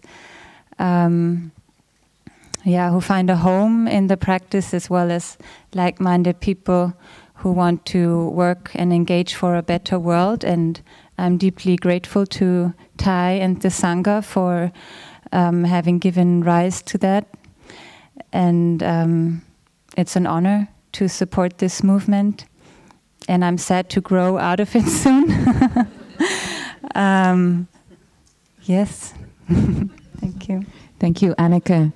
So Thay started the Wake Up movement in 2008 in a summer retreat. I wonder, was anyone here in that summer retreat in that moment? So you may remember this funny moment when Thay insisted that some of us stand up and announce the creation of young Buddhists and non Buddhists for a healthy and compassionate society. And I had to say this so many times, and then I had to read out this announcement and say, the YBHCS, which doesn't have the same ring to it as the YMCA. But so, so then we came up with the phrase uh, the wake up movement, and Thay was inspired to do this, as we heard from Sister Dinyam yesterday, because Thay had been working with young people since the beginning of his career as a monk, and he knew that um, young people can practice meditation, young people can practice mindfulness, and that the aspiration of young people to be of service in the world when supported by a mindfulness practice, can really help young people serve as a community, as a collective. And he did that in Vietnam with the School of Youth for Social Service and was experimenting with the Wake Up movement here in the West to see how young people can practice together to be seeds of change in the world. So thank you, Annika. And we have also Jazz in the Upper Hamlet, who on a volunteer basis have been supporting this incredible network of young people. And we're so grateful to you, Annika, for that. And for Dorothée, so a couple of years after starting the Wake Up movement, I wanted to see how we can have more young people in Plum Village. And with the brothers, he had the idea to create vegetable farms so that we can really come and have time healing with the earth, our hands in the soil, nurturing the seeds in the land. So, Dorothée, one minute about the happy farms. Thank you, sister. Um, dear Hall, um, I don't know really how to start. Um, of course, Plum Village doesn't wait the happy farm to manifest, to grow uh, food and to uh, garden. Uh, but I think we are also helping with the happy farm the monastic community who doesn't have the time as a gardener to spend so much time in the garden. Um, so that's also one of the aspects of the Happy Farm who started in Upper Hamlet in 2012. And I did my first retreat in 2013 and I fall in love with the practice and with the project of the Happy Farm. I think at that time I see my first uh, eggplant uh, plant, aubergine plant, and I was so amazed and so amazed about yeah what what they share about this project. It was not uh, obviously only about growing food, uh, but it's also um, yeah the link with all the the metaphor that we can find in Thay teaching uh, with the seeds and with um, yeah, growing, um, nourishing uh, uh, ourselves, and all yeah, all the metaphors about uh, nature that we can find uh, on his teaching. Uh, we try to um, to be with those teaching in the garden. I often uh, tell myself that the the happy happy farm is my meditation hall because sometimes I miss some of the of the activity with the sangha because yeah May and June are really um, busy at the garden, and I, I really enjoy uh, just knowing that so the Sangha also is practicing, and I'm, I'm practicing um, in the Happy Farm. Um, yeah, it's also a, a place for uh, transmitting and to inspired of um, yeah from where come the food and maybe we can all start uh, uh, growing our own food uh, uh, in any scale and yeah, that's for me so uh, important and inspiring. Thank you. Thank you, Dorothée. And what I, I find fascinating is how Thay was still experimenting with what a healthy community looks like. And a healthy community grows its own vegetables in mindfulness.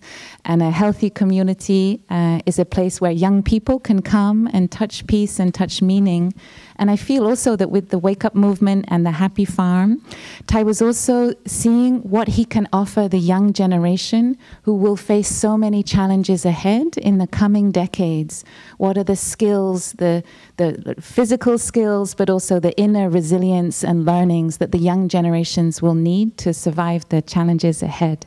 So I feel it's a great gift that we're experimenting with in the Wake Up movement and with our Happy Farms. So thank you both. And Uli, this is connected also to Thay's teachings on the earth.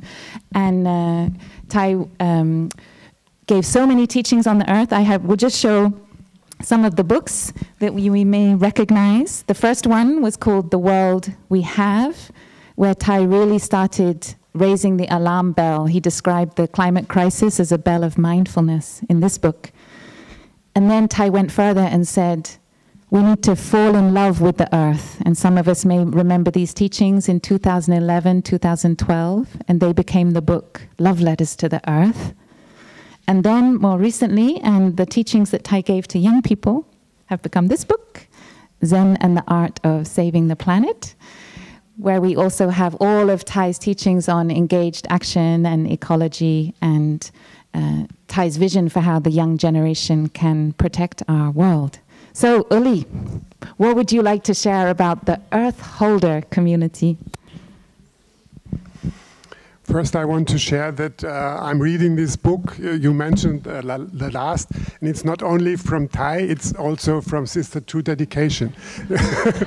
she, she, writes many uh, interesting parts in this book. It's very inspiring.